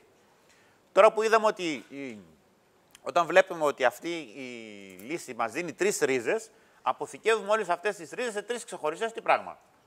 Βλέπετε, στο χ1, στο χ2 και στο χ3. Ωραία. Και στη συνέχεια βρίσκουμε τι πράγμα. Την δεύτερη παράγωγο και την τιμή που μας δίνει και την εξετάζουμε αν είναι θετική ή αρνητική στο χ1, στο χ2 και στο χ3. Έτσι ώστε να πούμε τι είναι το καθένα από αυτά εδώ. Εντάξει. Μπορούμε να δούμε τούτο εδώ, στο παράδειγμα που σας λέω εδώ πέρα στο diff 08. Ας το κάνουμε και αυτό. Λοιπόν, τα ξαναλέμε. Ορίζουμε τη συνάρτηση. Όποια και αν είναι αυτή. Εντάξει. Στη συνέχεια, ορίζουμε την συνάρτηση της πρώτης παραγόγου. Εδώ ο τύπος είναι ο πολυονυμικός, οπότε είναι πολύ εύκολα και με το μάτι έτσι και στο τετράδιο σας να βρείτε το αποτέλεσμα. Τρίτο βήμα. Λύνουμε την εξίσωση πρώτη παράγωγος ίσον με το 0. Αποθηκεύουμε τις ρίζες που θα βρούμε σε μία μεταβλητή, σε κάποιο όνομα, σε κάποια επώνυμη παράσταση. Στη συνέχεια, όταν βλέπουμε ότι αυτές οι ρίζες είναι τρεις, παίρνουμε καθεμιά από αυτές σε τρεις διαφορετικές μεταβλητές. Εντάξει, στο χ1, στο χ2 και στο χ3. Το χ1 λοιπόν είναι 1, αυτό είναι μείον 1 και αυτό εδώ είναι το 3. Μετά υπολογίζουμε την παράσταση, τη συνάρτηση της δεύτερης παραγόγου της f του χ ως προς χ. Η οποία, μιας και η συνάρτηση είναι πολυονομική, αν θυμάστε, ξεκινήσαμε από τετάρτου βαθμού, η πρώτη παράγωγος επομένως θα είναι τι πράγμα; Τρίτου, η δεύτερη παράγωγος θα είναι δευτέρου. Τώρα, σε αυτή την παράσταση της δευτέρους παραγόγους, η πρώτη ρίζα που έχουμε βρει, το χ1, έχει τι τιμή, θετική ή αρνητική; Αρνητική. Οπότε στο χ1 η συνάρτηση έχει μέγιστο ή ελάχιστο; Ελάχιστο. Αυτό εδώ τι είναι το f του 2. Αυτό το f του χ1 είναι το, το εδώ είναι το χ1. Το βλέπετε στο 1. Στο μείον 1 τι έχει; Είναι θετική τιμή. Οπότε τι έχει; Τι έχει; Μέγιστο ή ελάχιστο; Μέγιστο λέτε. Και στο... Τι έχει βρε παιδιά στο χ2. Ποιος μπερδεύτηκε; Το βλέπεις το εδώ. Ωραία. Είναι μια καμπύλη μιας πολυονομικής συνάρτησης, σωστά; Ωραία. Αυτή η συνάρτηση, έχει, έτσι όπως τη βλέπεις εδώ, έχει τρία ακρότατα. Πολύ, πολύ ωραία. Πώς θα τα βρούμε τα ακρότατα; Δεν τα βλέπουμε. Πώς θα τα βρούμε, δεν σου είπα να τα δεις, σου είπα να τα βρεις. Δεν ξέρω. Πώς θα τα βρούμε; Θα; Θα λύσουμε την εξίσωση F τόνος του χ με το 0. Τα υπόλοιπα τα πείτε στο καφενείο και στη μαμά σας. Εντάξει, στον παπά σας, στην αδερφή σας, στον ανιψιό σας, όπου θέλετε αλλού. Α, μάλιστα. Α, γεια σου. Ε; Λοιπόν, αφού λύσουμε την εξίσωση αυτή της πρώτης παραγόγου με το 0, πώς θα εκτιμήσουμε αν είναι μέγιστο ή ελάχιστο αυτό που έχουμε βρει; Γιατί και σε αυτό το σημείο και σε αυτό η παράγωγος έχει κλείσει 0. Η εφαπτωμένη είναι μηδενική. Η κλίση δηλαδή είναι μηδενική. Ωραία. Θα πρέπει να βρούμε τη δεύτερη ε, παράγωγο. Ανάλογο με το αν αυτή η παράγωγος έχει θετική ή αρνητική τιμή σε αυτό το σημείο. Λοιπόν, στο, έτσι όπως το βλέπεις εδώ στο χ στον μείον 1 είναι τι αυτό, ελάχιστο ή μέγιστο; Ελάχιστο. Πώς το καταλαβαίνουμε εδώ ότι είναι ελάχιστο αυτό το χ1. Ξέρουμε, το, συγγνώμη το μείον 1 αυτό εδώ. Ξέρουμε ότι είναι ακρότατο γιατί αυτό το χ2 έχει προέρθει από την επίλυση μιας εξίσωσης f τόνος του χ με το 0. Επομένως είναι ακρότατο. Τι ακρότατο είναι; Θα πρέπει να ορίσετε τη συνάρτηση της δεύτερης παραγόγου και να την κάνετε τι; Να πάρετε να πείτε πόσο είναι το f του χ2. Επειδή αυτό έχει θετική τιμή, τι είναι λοιπόν το, το, το ακρότατο αυτό;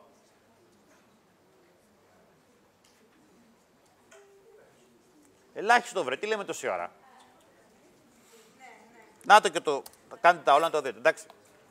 Λοιπόν, όταν η τιμή είναι θετική, το ακρότατο αυτό είναι τι, τοπικό ελάχιστο. Αν η τιμή είναι αρνητική, η τιμή αυτή τι είναι; Τοπικό μεγιστό. Ε, να το ξανά το διάγραμμα, αν θέλετε να το ξαναθυμηθείτε. Εντάξει, με λίγο έτσι πιο έντονη γραμμή. Τώρα, αυτό που λέμε εμείς εδώ στο πρόγραμμα Χ1, Χ2, Χ3, μπορεί να μην είναι ακριβώς η σειρά που θα την πείτε εσείς όταν το βλέπετε έτσι εδώ. Εντάξει; Για παράδειγμα εδώ, να με ποια σειρά είναι τα Χ1, Χ2, Χ3. Το πρώτο είναι τούτο εδώ, μετά είναι τούτο εδώ, μετά είναι με άλλη σειρά. Εντάξει, δεν, μην, το, μην το μπερδέψετε από αυτό με το με ποια σειρά τα βάζετε εσείς. Τώρα, πάμε κυρίες και κύριοι στο πιο δύσκολο κομμάτι ε, του μαθήματος, το οποίο έχει να κάνει με το να βελτιστοποιήσουμε μία συνάρτηση που έχει δύο μεταβλητές. Είναι ένα πρόβλημα το οποίο στα οικονομικά θα το συναντήσετε σε πάρα πολλές περιπτώσεις και υποπεριπτώσεις. Το 2 που χρησιμοποιούμε σήμερα εδώ πέρα είναι απλώς το λέμε σαν εισαγωγή. Αργότερα θα δούμε και παραδείγματα και με 3 και με 4 και με 5 μεταβλητές. Δεν υπάρχει δηλαδή. Ε, αυτό που για παράδειγμα θα κάνετε σαν άσκησα μαθηματικά ή στην μικροοικονομική, στην εισαγωγή κτλ. Ότι για απλότητα χρησιμοποιούμε δύο μεταβλητέ. Σε ένα υπολογιστικό πρόβλημα δεν υπάρχει τέτοιος περιορισμός. Θα δούμε σίγουρα με 3 ή 4 μεταβλητές αργότερα. Επίσης, δεν θα κλείσουμε όλο το θέμα εδώ, γιατί θέλω να προχωρήσετε λίγο παρακάτω στην λίστα μαθηματικά. Αυτό που θα σας πω ως παράδειγμα έχει να κάνει με το εξής. Χρησιμοποιούμε, κυρίες και κύριοι, ένα μοντέλο ε, εκτίμησης των κερδών μιας επιχείρησης ανάλογα με το επίπεδο παραγωγής ε, που έχει σε δύο προϊόντα Χ και Ψ. Το Χ και Ψ εδώ είναι ποσότητες, σε αυθαίρετες μονάδες. Ωραία. Παράγει δύο προϊόντα. Όταν λοιπόν η ποσότητα είναι Χ και του ενός και η ποσότητα του άλλου είναι Ψ, τότε τα κέρδη αυτής της επιχείρησης για αυτό το επίπεδο παραγωγής περιγράφονται από αυτήν εδώ την εξίσωση. Ωραία. Το γράφημα αυτής της ε, κα, καμπύλης, συγγνώμη, αυτής της επιφάνειας, μπορείτε να το δείτε τούτο εδώ. Όπως καταλαβαίνετε, είναι ένα τρισδιάστο γράφημα, μιας και μιλάμε για δύο μεταβλητές. Και εμφανίζει οπτικά, τουλάχιστον το βλέπουμε και εδώ, ένα τοπικό τι πράγμα. Μέγιστο. Μπορείτε να παρατηρήσετε ότι για κάποιους συνδυασμούς του χ και του ψ οι τιμές είναι αρνητικές για παράδειγμα, εδώ όταν το χ μεγαλώνει πάρα πολύ ή όταν μεγαλώνει πάρα πολύ και το ψ, αυτές εδώ οι τιμές, αν φέρετε με το μάτι σας εδώ πέρα, βλέπετε που πάνε. Σε αρνητικές τιμές. Μπορεί μια επιχείρηση αυξάνοντας την παραγωγή της να έχει αρνητικά κέρδη, να έχει ζημία με λίγα λόγια. Μια χαρά μπορεί, ε. Πάρα πολύ ωραία. Το καταλαβα... Με αυτό δεν έχουμε πρόβλημα, γιατί παλιότερα είχαμε κάτι παρεξηγήσει στο μάθημα αυτά. Πολύ ωραία. Πώς βρίσκουμε τώρα ποιο είναι το κατάλληλο επίπεδο παραγωγής αυτής της επιχείρησης; Σε ποιο χ και ψ δηλαδή έχουμε μέγιστα κέρδη; Εφόσον είμαστε σε μια κατάσταση όπου απλά αυξάνοντας την παραγωγή δεν αυξάνουμε τα κέρδη πάντοτε, αν περάσουμε κάποιο σημείο, τι μπορεί να γίνει; Τα κέρδη μας θα μειωθούν. Λοιπόν, πώς θα βρούμε αυτό το σημείο το, το οποίο είναι βέλτιστο. Εκεί δηλαδή όπου τα κέρδη μεγιστοποιούνται, εντάξει. Πώς, θα, πώς, θα, ναι, πώς το βρίσκουμε αυτό; Ναι, πώς θα βρούμε το, το ότι είναι μέγιστο χαίρο πολύ. Το ότι αυτό το σημείο αντιστοιχεί στο μέγιστο σημείο αυτής της επιφάνειας, το καταλαβαίνω, αλλά πώς θα το βρούμε; Θα. Και ως προς ψή, τις μερικές παραγόγους δηλαδή, και τι θα λύσουμε μετά. Προηγουμένως είχαμε μία εξίσωση. Τώρα τι θα έχουμε; Δύο. Και τι θα λύσουμε; Ένα σύστημα. Αυτό το οποίο κάνουμε κυρίες και κύριοι με λίγα λόγια είναι ορίζουμε εδώ τη συνάρτηση. Εδώ βλέπετε ότι έχω χρησιμοποιήσει τον ορισμό σαν παράσταση και όχι σαν συνάρτηση. Ο τρόπος εργασίας είναι ακριβώς ο ίδιος. Δεν μας πειράζει αυτό εδώ. Λοιπόν, βρίσκουμε τη μερική παράγωγό τη ως προ χ, βρίσκουμε τη μερική παράγωγο ως προ ψ και προσέξτε πώς λύνουμε τώρα πια το σύστημα θα πρέπει να καλέσουμε πάλι τη Solve, την εντολή που επιλύει εξισώσεις, συστήματα εξισώσεων, αλλά μέσα σε μία λίστα θα πρέπει να γράψουμε και τις δύο εξισώσεις μαζί, έτσι δεν είναι; Και να δώσουμε και τη λίστα των παραμέτρων, ως προς ποιες μεταβλητές θα λυθεί αυτή, αυτό το σύστημα. Αυτό εδώ μπορείτε πολύ καλύτερα να το δείτε εδώ. Ήταν το, συγγνώμη λίγο, το 9, το τελευταίο.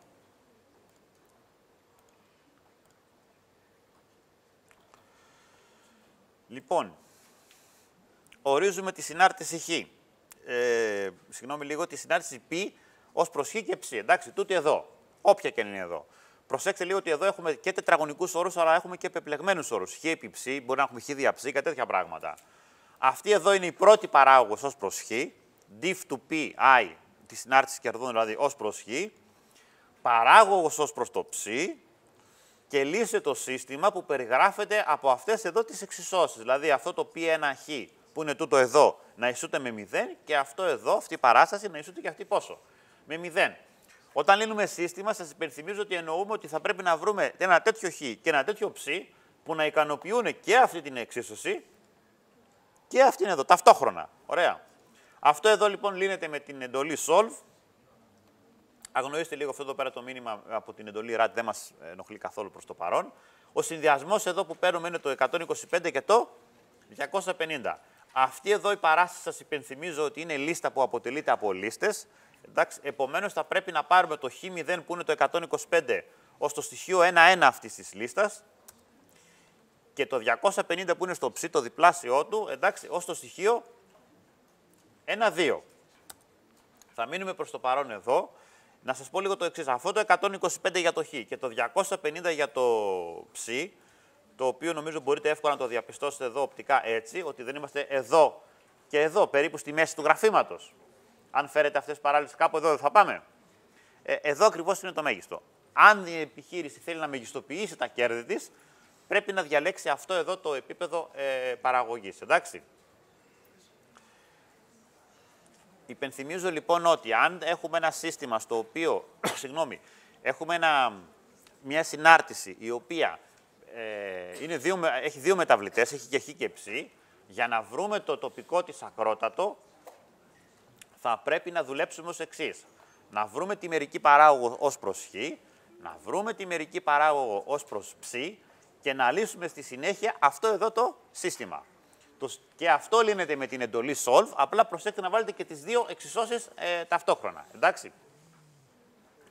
Να σας υπενθυμίσω τώρα λίγο ότι, παρόλο που σε αυτά δεν θα μείνουμε ε, πριν προχωρήσετε κάπου στα μαθηματικά, ότι για να εκτιμήσουμε αν αυτό το ακρότατο είναι, μία, ε, είναι τοπικό μέγιστο ή τοπικό ελάχιστο, θα χρειαστεί να υπολογίσουμε την εσιανή μήτρα, με λίγα λόγια μία μήτρα που έχει, μια τετραγωνική μήτρα που έχει αυτά τα στοιχεία των δευτέρων παραγόγων της ε, συνάρτησης. Για την περίπτωση τη δική μας που είναι απλή, μιας και έχουμε δύο ε, μεταβλητές, θα πρέπει να βρούμε με λίγα λόγια το θ πει προς το χ1 εδώ, ως προς το χ και ψ εδώ, ως προς το ψ τετράγωνο εδώ και ως προς το ψ και χ εδώ. Αυτό το ένα εδώ κάτω, συγγνώμη λίγο, είναι λαθάκι, είναι χ αυτό εδώ, εντάξει. Είναι δεύτερη παράγωγος ως προς χ. Διορθώστε το λίγο του το δω, το θυμάστε, είναι στη διαφάνεια νούμερο 24. Είναι, ε, είναι χ και όχι χ1.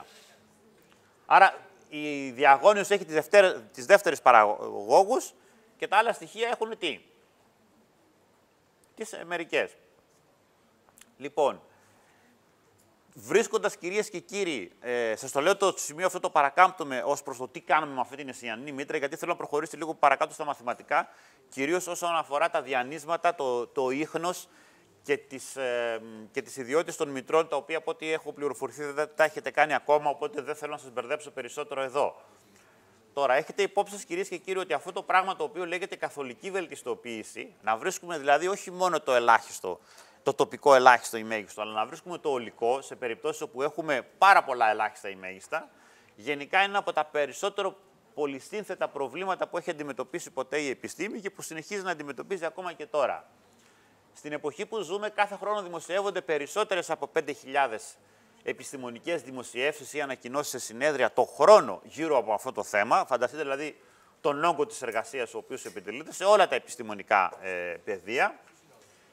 Για τα θέματα που αφορούν την καθολική βελτιστοποίηση υπάρχουν αρκετά εξειδικευμένα και περιοδικά και συνέδρια και αυτό σας λέω αφορά όλες τις επιστήμες, είτε τα οικονομικά είτε οποιαδήποτε άλλη επιστήμη.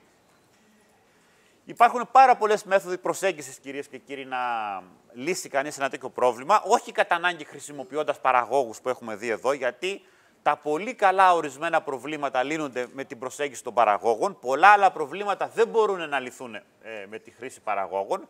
Κλασικό παράδειγμα είναι εκεί όπου έχουμε ασυνέχεια στις συναρτήσεις κτλ. Παρόλο που χρειαζόμαστε και εκεί να βρίσκουμε μέγιστα ή ελάχιστα. Μία τέτοια προσέγγιση για όποιον ενδιαφέρεται μπορεί να δει στην ασέτρου. Εδώ την ιστοσελίδα που έχω κάνει με τον συνάδελφό μου, τον κύριο Γιάννη Τσούλο, που είναι μια ε, στοχαστική μέθοδος που δεν χρησιμοποιεί παραγόγου για να βρίσκει κανείς ολικά μέγιστα και ελάχιστα. Και ένα πρόβλημα που θα ήθελα να μας παρουσιάσει κάποιος από τα επόμενα μάθημα, μαθήματα ως εργασία είναι τούτο εδώ, κυρίες και κύριοι. Υπάρχει ένα γενικό, το οποίο δεν λύνεται με παραγόγους, έχει άλλο τρόπο προσέγγισης. Είναι κανείς από εσάς από την Πελοπόννησο, μήπως; Πελοπόννη, ναι. Α, σωστά. Και από εδώ. Εντάξει. Οπότε έχουμε και από εδώ και από εκεί έχουμε αρκετά σοβαρά. Για κοιτάξτε λίγο τώρα το εξής, κυρίε και κύριοι. Θεωρούμε ότι έχουμε κάποιον κύριο ο οποίος εργάζεται ως πολιτή σε μια εταιρεία και περιοδικά επισκέπτεται όλες τις πρωτεύουσες των νομών. Α ξεκινήσουμε με τα απλά προβλήματα, εντάξει. Πάμε δηλαδή μόνο στην πρωτεύουσα ενός νόμου. Α πούμε ότι θέλει να πάει στο νοσοκομείο που, έχει, που υπάρχει σε κάθε πρωτεύουσα και όχι στα μικρότερα περιφερειακά κέντρα υγείας κτλ. Αν πρέπει να τις επισκεφτεί όλες αυτές τις πρωτεύουσες. Και επίσης μας είναι γνωστή η απόσταση ανάμεσα σε δύο οποιασδήποτε πρωτεύουσες νομών. Για παράδειγμα, ξέρουμε την απόσταση της Καλαμάτα σε σχέση με όλες τις πόλεις του Πενοποννήσου, την απόσταση της Σπάρτης με όλες τις υπόλοιπες πόλεις, της Τρίπολης, του Ναυπλίου, της Κορίνθου κτλ. Ποια είναι η διαδρομή που πρέπει να ακολουθήσει έτσι ώστε να κάνει τη συντομότερη δυνατή διαδρομή; Να περάσει από όλες. Μόνο μία φορά. Να μην κάνει κυκλάκια δηλαδή. Το πρόβλημα αυτό, κυρίες και κύριοι, εδώ είναι πάρα πολύ εύκολο να λυθεί. Άμα δηλαδή το πρόβλημα μας είναι ο χάρτης του Πελοποννήσου, είναι ένα σχετικά απλό πρόβλημα. Γενικά, θα πρέπει να το ψάξετε και να το ερευνήσετε σαν το πρόβλημα του πλανόδιου πολιτή ή στην αγγλική βιβλιογραφία σαν traveling salesman problem ή απλά σαν TSP problem. Είναι ένα από τα διασημότερα προβλήματα των μαθηματικών και της πληροφορικής που υπάρχουν και παρόλο που η σημερινή τεχνολογία και το ηλεκτρονικό εμπόριο έχει περιορίσει πάρα πολύ αυτούς τους πλανόδιους πολιτές, συνεχίζει να υπάρχει ως πρόβλημα. Να σας υπενθυμίσω επίσης ότι στην ε, πλήρη ανάλυση του το πρόβλημα αυτό δεν χρησιμοποιεί απλά πρωτεύουσες, αλλά για παράδειγμα μπορούμε να το ζητήσουμε πόλεις οι οποίες έχουν από ένα επίπεδο πληθυσμού και πάνω. Για παράδειγμα, μην μας νοιάζει, είναι πρωτεύουσα, πώς το λένε, νομού. Εντάξει, όχι, για παράδειγμα, στο νομό του Λακαρνανέα να μην ενδιαφερόμαστε να πάμε κατά ανάγκη στο Μεσολόγιο που είναι η πρωτεύουσά του, αλλά σε όλες τις πόλεις που έχουν πάνω από 10.000 κατοίκους. Που είναι και το Μεσολόγιο, είναι και το Αγρίνο βέβαια, που είναι η μεγαλύτερη πόλη, αλλά είναι και η Ναύπακτο. Θέλω να το αποδείξει μαθηματικά ή υπολογιστικά. Ποιος, πώς θα το βρούμε αυτό εδώ. Σε αυτό το θέμα για, μεγάλες, για μεγάλα προβλήματα, όταν έχουμε δηλαδή πολλά σημεία, θέλετε πολλές πόλεις, το πρόβλημα αυτό είναι πάρα πολύ σύνθετο και δύσκολο. Να σας υπενθυμίσω επίσης ότι η πλήρης λύση του για, το, για τις πόλεις της Γερμανίας έχει λυθεί μόνο μόλις το 2006. Γενικά, δηλαδή, αν έχετε πολλά σημεία, όσο μεγαλώνουν τα σημεία, μεγαλώνει και η πολυπλοκότητα. Αν θέλετε να το κάνετε έτσι λίγο πιο πολύπλοκο, πάρτε την εξής ε, εκδοχή του. Πάρτε λίγο το νομό κυκλάδων, πάρτε όλες τις κυκλάδες με λίγα λόγια και βρείτε ποια είναι η συντομότερη διαδρομή που πρέπει να κάνει κανείς για να περάσει από όλες τις κυκλάδες. Από όλα τα νησιά. Όλα τα νησιά που έχουν λιμάνι. Εντάξει. Όλα τα νησιά των κυκλάδων που έχουν λιμάνι, ποια είναι η συντομότερη διαδρομή που μπορούμε να κάνουμε. Και μπορείτε να το μεγαλώσετε βάζοντας ε, άλλες παραμέτρους στο πρόβλημα. Εντάξει. Λοιπόν, αφήνουμε κυρίες και κύριοι λίγο. Συγγνώμη. Ε, αφήνουμε λίγο την ε, παραγώγηση για να πούμε δύο σύντομα λόγια για την ολοκλήρωση, την αντίστροφη διαδικασία δηλαδή, και να κλείσουμε το σημερινό μάθημα. Για κοιτάξτε λίγο. Πολύ πολύ γρήγορα. Με τον όρο ολοκλήρωση εννοούμε στην ουσία μια διαδικασία η οποία είναι το ανάποδο ε, της παραγώγησης.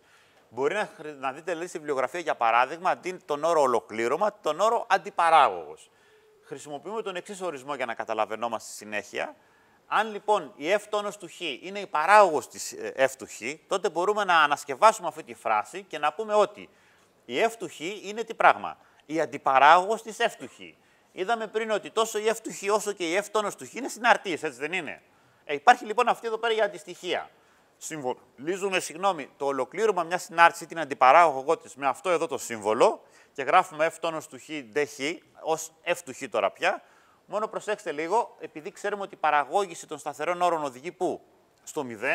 Όταν κάνουμε την αντίστοιχη διαδικασία, προσθέτουμε έναν άγνωστο σταθερό όρο. Τον οποίο υπό συνθήκες μπορούμε να τον βρούμε, αλλά μπορεί και να μην είναι γνωστός. Αυτό το σι με λίγα λόγια, το σε, είναι απλώς ένας γενικά σταθερός όρος. Εντάξει. Επίσης, κυρίες και κύριοι, έχετε υπόψη σε αυτόν εδώ τον ορισμό, ότι αυτό εδώ το F μπορεί να το γράψουμε και με ένα κεφαλαίο ε, γράμμα. Ωραία. Σταματάμε λίγο εδώ. Τα περισσότερα νομίζω σας είναι γνωστά από τα μαθηματικά.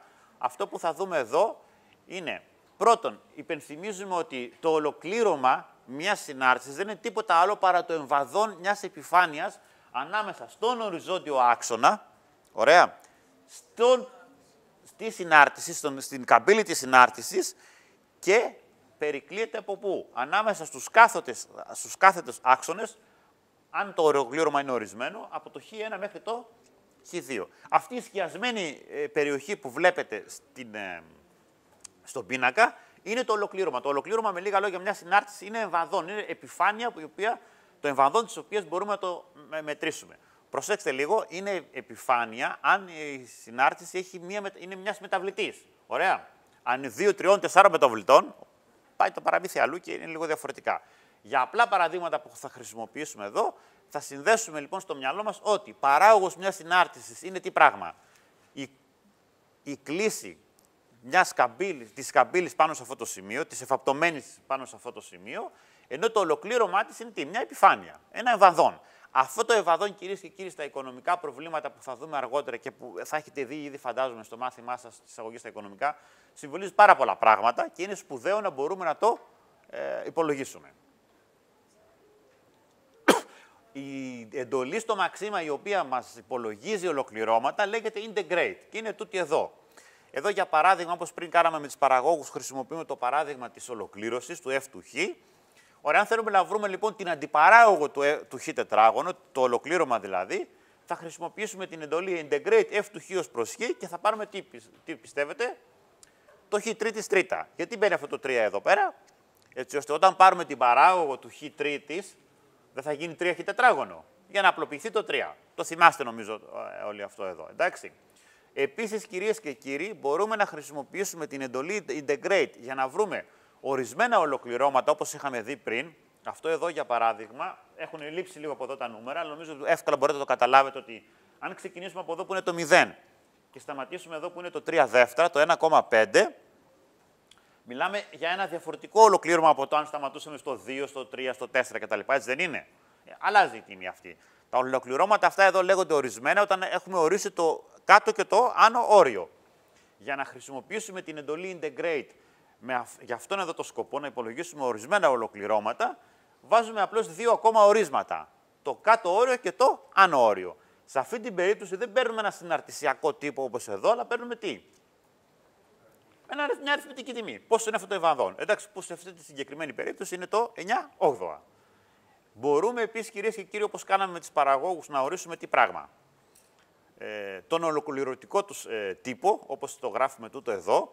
Προσέξτε τώρα λίγο κάτι. Χωρίς αυτά τα εισαγωγικά που είχαμε χρησιμοποιήσει στις παραγόγους, θα πάρουμε εδώ τι πράγμα. Απλά το μαθηματικό τύπο του ολοκληρώματος, όπως τον είχαμε δει πριν, εντάξει. Αν εδώ μπροστά, όπως θα κάνουμε λίγο στο παράδειγμα παρακάτω, βάλουμε τα εισαγωγικά ή αν θέλετε χρησιμοποιήσουμε την εντολή define, θα πάρουμε τη συνάρτηση που το ε, ορίζει. Και στη μία περίπτωση και στην άλλη, μπορούμε να καλέσουμε στη συνέχεια αυτήν εδώ την παράσταση για να βρούμε τι πράγμα.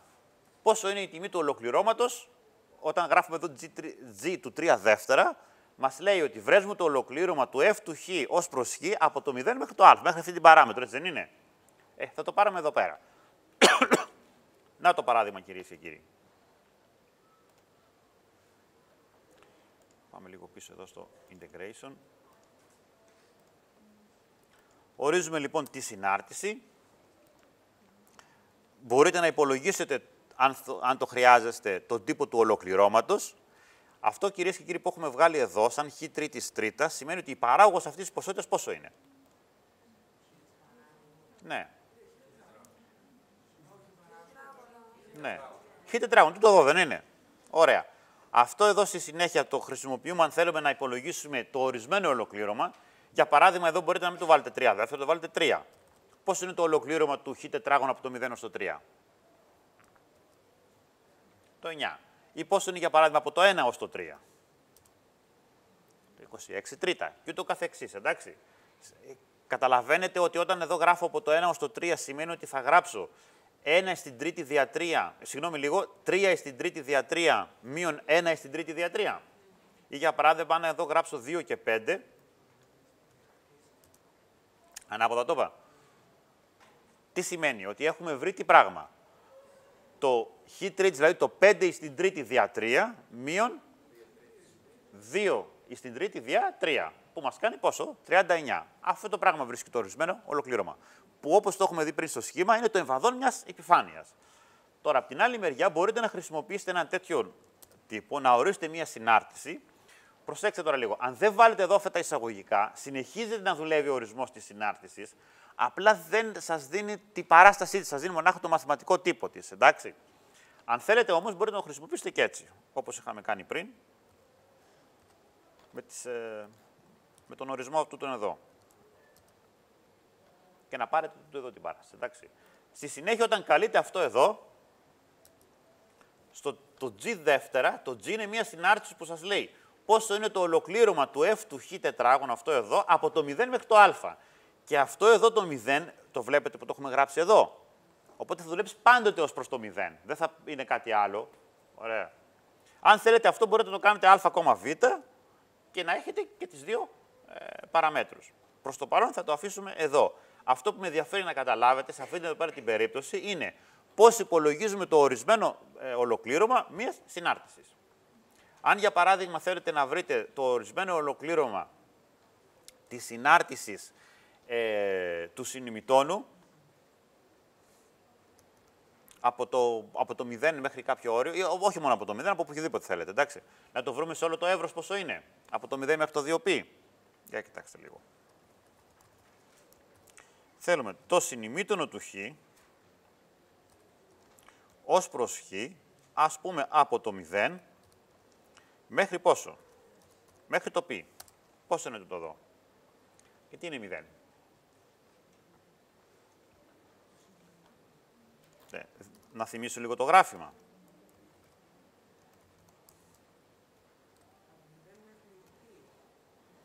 Ναι, από 0 μέχρι π. Ε, συγγνώμη λίγο. Το χ έχει από το 0 μέχρι το π. Αυτό είναι το γράφημα. Αυτή εδώ, δεν ξέρω αν βλέπετε αυτή εδώ τη γραμμούλα που είναι στο 0, έτσι δεν είναι; Η συνάρτηση είναι συμμετρική και όσο το από πάνω από το χ είναι τι πράγμα, τι τιμές έχει; Το εμβαδόν έχει θετική τιμή, το από κάτω έχει πόσο. Αρνητική. Επομένως, για τέτοια όρια, κυρίες και κύριοι, το 0 τι σημαίνει. Δεν σημαίνει ότι είναι 0 η επιφάνεια συνολικά, αλλά ότι αθρηστικά είναι 0. Εντάξει. Αν εδώ το γράψετε ως π δεύτερα, Πάρε τη μονάδα. Τι σημαίνει αυτό το εδώ. Αυτή η μονάδα ξέρετε τι σημαίνει; Ότι αν εδώ το κάνουμε μεγαλύτερο το εδώ, για παράδειγμα το κάνουμε επί 2, το δούμε όλο το συνημείο, εντάξει. Κάθε φορά που το, ε, ε το 1 τεταρτημόριο αυτής εδώ της παράστασης, του, του συνημητών χ, δηλαδή όταν το χ ξεκινήσει από το 0 και πάει στο π δεύτερα, που είναι το 1 τέταρτο του κύκλου, το ευαδόν αυτό είναι 1. Όταν θα ξαναπάει από εδώ μέχρι το ε, από, το π, συγγνώμη, από το π δεύτερα μέχρι το π, θα κάνει άλλη μια μονάδα και άλλη μια μονάδα. Αν βρούμε το ολοκλήρωμα αυτής εδώ της παράστασης, από το, συγγνώμη λίγο, από το π δεύτερα. Μέχρι το π, ε, 3 π δεύτερα, συγγνώμη λίγο, π 3, θα πάρουμε το μείον 2 όπως το βλέπετε και εδώ πέρα, το βλέπετε; Αυτό το μείον 2 είναι από εδώ, όλη αυτή εδώ πέρα η περιοχή που είναι από εδώ πέρα κάτω, εντάξει. Λοιπόν, απλά να προσέχετε λίγο, το συνημήτων είναι ένα καλό παράδειγμα για να σας πει ότι το ολοκλήρωμα υπολογίζεται αθρηστικά στις θετικές και αρνητικές περιοχές. Οπότε μια μικρή τιμή δεν σημαίνει κατά ανάγκη μικρή επιφάνεια. Εντάξει. Να είστε λίγο προσεκτικοί ως προς αυτό. Από την άλλη μεριά, το δεύτερο πράγμα που θα πούμε πάνω σε αυτό είναι εδώ είναι το ολοκλήρωμα ως προς το άπειρο. Θα πάρουμε λίγο για παράδειγμα τούτη εδώ τη συνάρτηση, την F του χ ίσον A στη μείον χ τετράγωνο. Αυτή η συνάρτηση για πολύ αρνητικές τιμές πηγαίνει πολύ κοντά στο 0, αλλά δεν γίνεται ποτέ πράγμα. Ποτέ 0. Εντάξει, και το ίδιο σημαίνει και προς το θετικό όριο.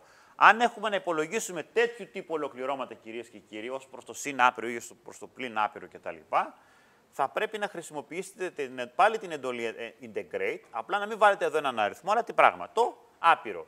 Σας υπενθυμίζω ότι στο μαξίμα το συν άπειρο είναι με το inf, από την εντολή από το infinity, και το μείον άπειρο είναι το μείον if. Εντάξει. Θα δούμε λοιπόν κυρίες και κύριοι και αυτό εδώ το παράδειγμα και θα κλείσουμε εδώ.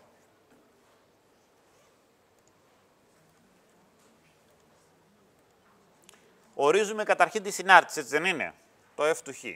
Μπορούμε να καλέσουμε λοιπόν το ορισμένο ολοκλήρωμά της από το 0 στο συν άπειρο, το οποίο είναι η ρίζα π δεύτερα, ή να το ορίσουμε από το μείον άπειρο στο 0, ή να το ορίσουμε από το μείον άπειρο στο συν άπειρο. Προσέξτε λίγο το inf που σημαίνει συν άπειρο και το μείον inf που σημαίνει μείον άπειρο. Ωραία. Τώρα, να σας πω λίγο το εξής. Εδώ, για παράδειγμα, αν εδώ δώσετε την εντολή numer, θα σας δώσει μια αριθμητική προσέγγιση αυτού του ολοκληρώματος, που είναι περίπου 0,88, εντάξει. Κοιτάξτε λίγο τώρα τι θα κάνω για να σας πω λίγο με αυτό το άπειρο πώς μπορεί να προσεγγιστεί. Μπορούμε να το προσεγγίσουμε με το 2. Θα πάρουμε την περίπου 0,88 και πάλι. Θα πάρουμε. Το βλέπετε εδώ στο γράφημα. Ότι ήδη στο 2 οι τιμές είναι τι πράγμα. Πάρα πολύ μικρές. Αν αυτό εδώ το αλλάξετε στο 3, θα πάρετε λίγο καλύτερη προσέγγιση, αλλά αυτό δεν θα αλλάζει πια πάρα πολύ. Εντάξει. Με λίγα λόγια, αυτό το ολοκλήρωμα, αν το πάρετε ορισμένο ολοκλήρωμα, είναι μία ακολουθία η οποία τίνει πού; Στην τιμή του ολοκληρώματος ως προς το ε, άπειρο. Το ακριβές αποτέλεσμα με το inf, βλέπετε που ήταν 88,622. Αν το κάνουμε εδώ με το 3 που είχαμε κάνει πριν, είναι 88-62. Αυτό εδώ είμαστε πια στο πέμπτο δεκαδικό. Ένας τρόπος λοιπόν κυρίες και κύριοι για να προσεγγίσουμε αυτά εδώ τα ολοκληρώματα, ε, έτσι όπως τα κάνουμε εδώ, είναι αντί για το άπειρο να χρησιμοποιούμε τι, έναν αριθμό ο οποίος είναι αρκετά μεγάλος ως προς το γράφημά τους.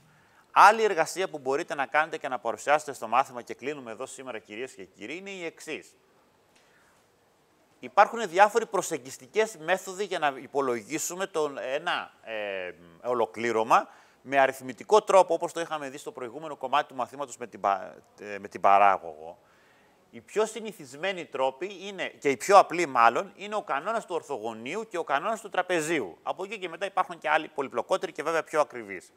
Αν θέλετε λοιπόν σε κάποιο από τα κατοπινά μαθήματα, μπορείτε να μας παρουσιάσετε έναν από τους δύο κανόνες λέγεται κανόνας του ορθογωνίου ή κανόνας του ε, τραπεζίου, οι οποίοι είναι μέθοδοι αριθμητικής προσέγγισης ορισμένων ε, ή αόριστων ολοκληρωμάτων. Αυτά. Δεν, αν δεν έχετε κάτι να ρωτήσετε, έχουμε σταματήσει. Κυρίες και κύριοι, ευχαριστώ πολύ και πάλι συγγνώμη για την καθυστέρηση.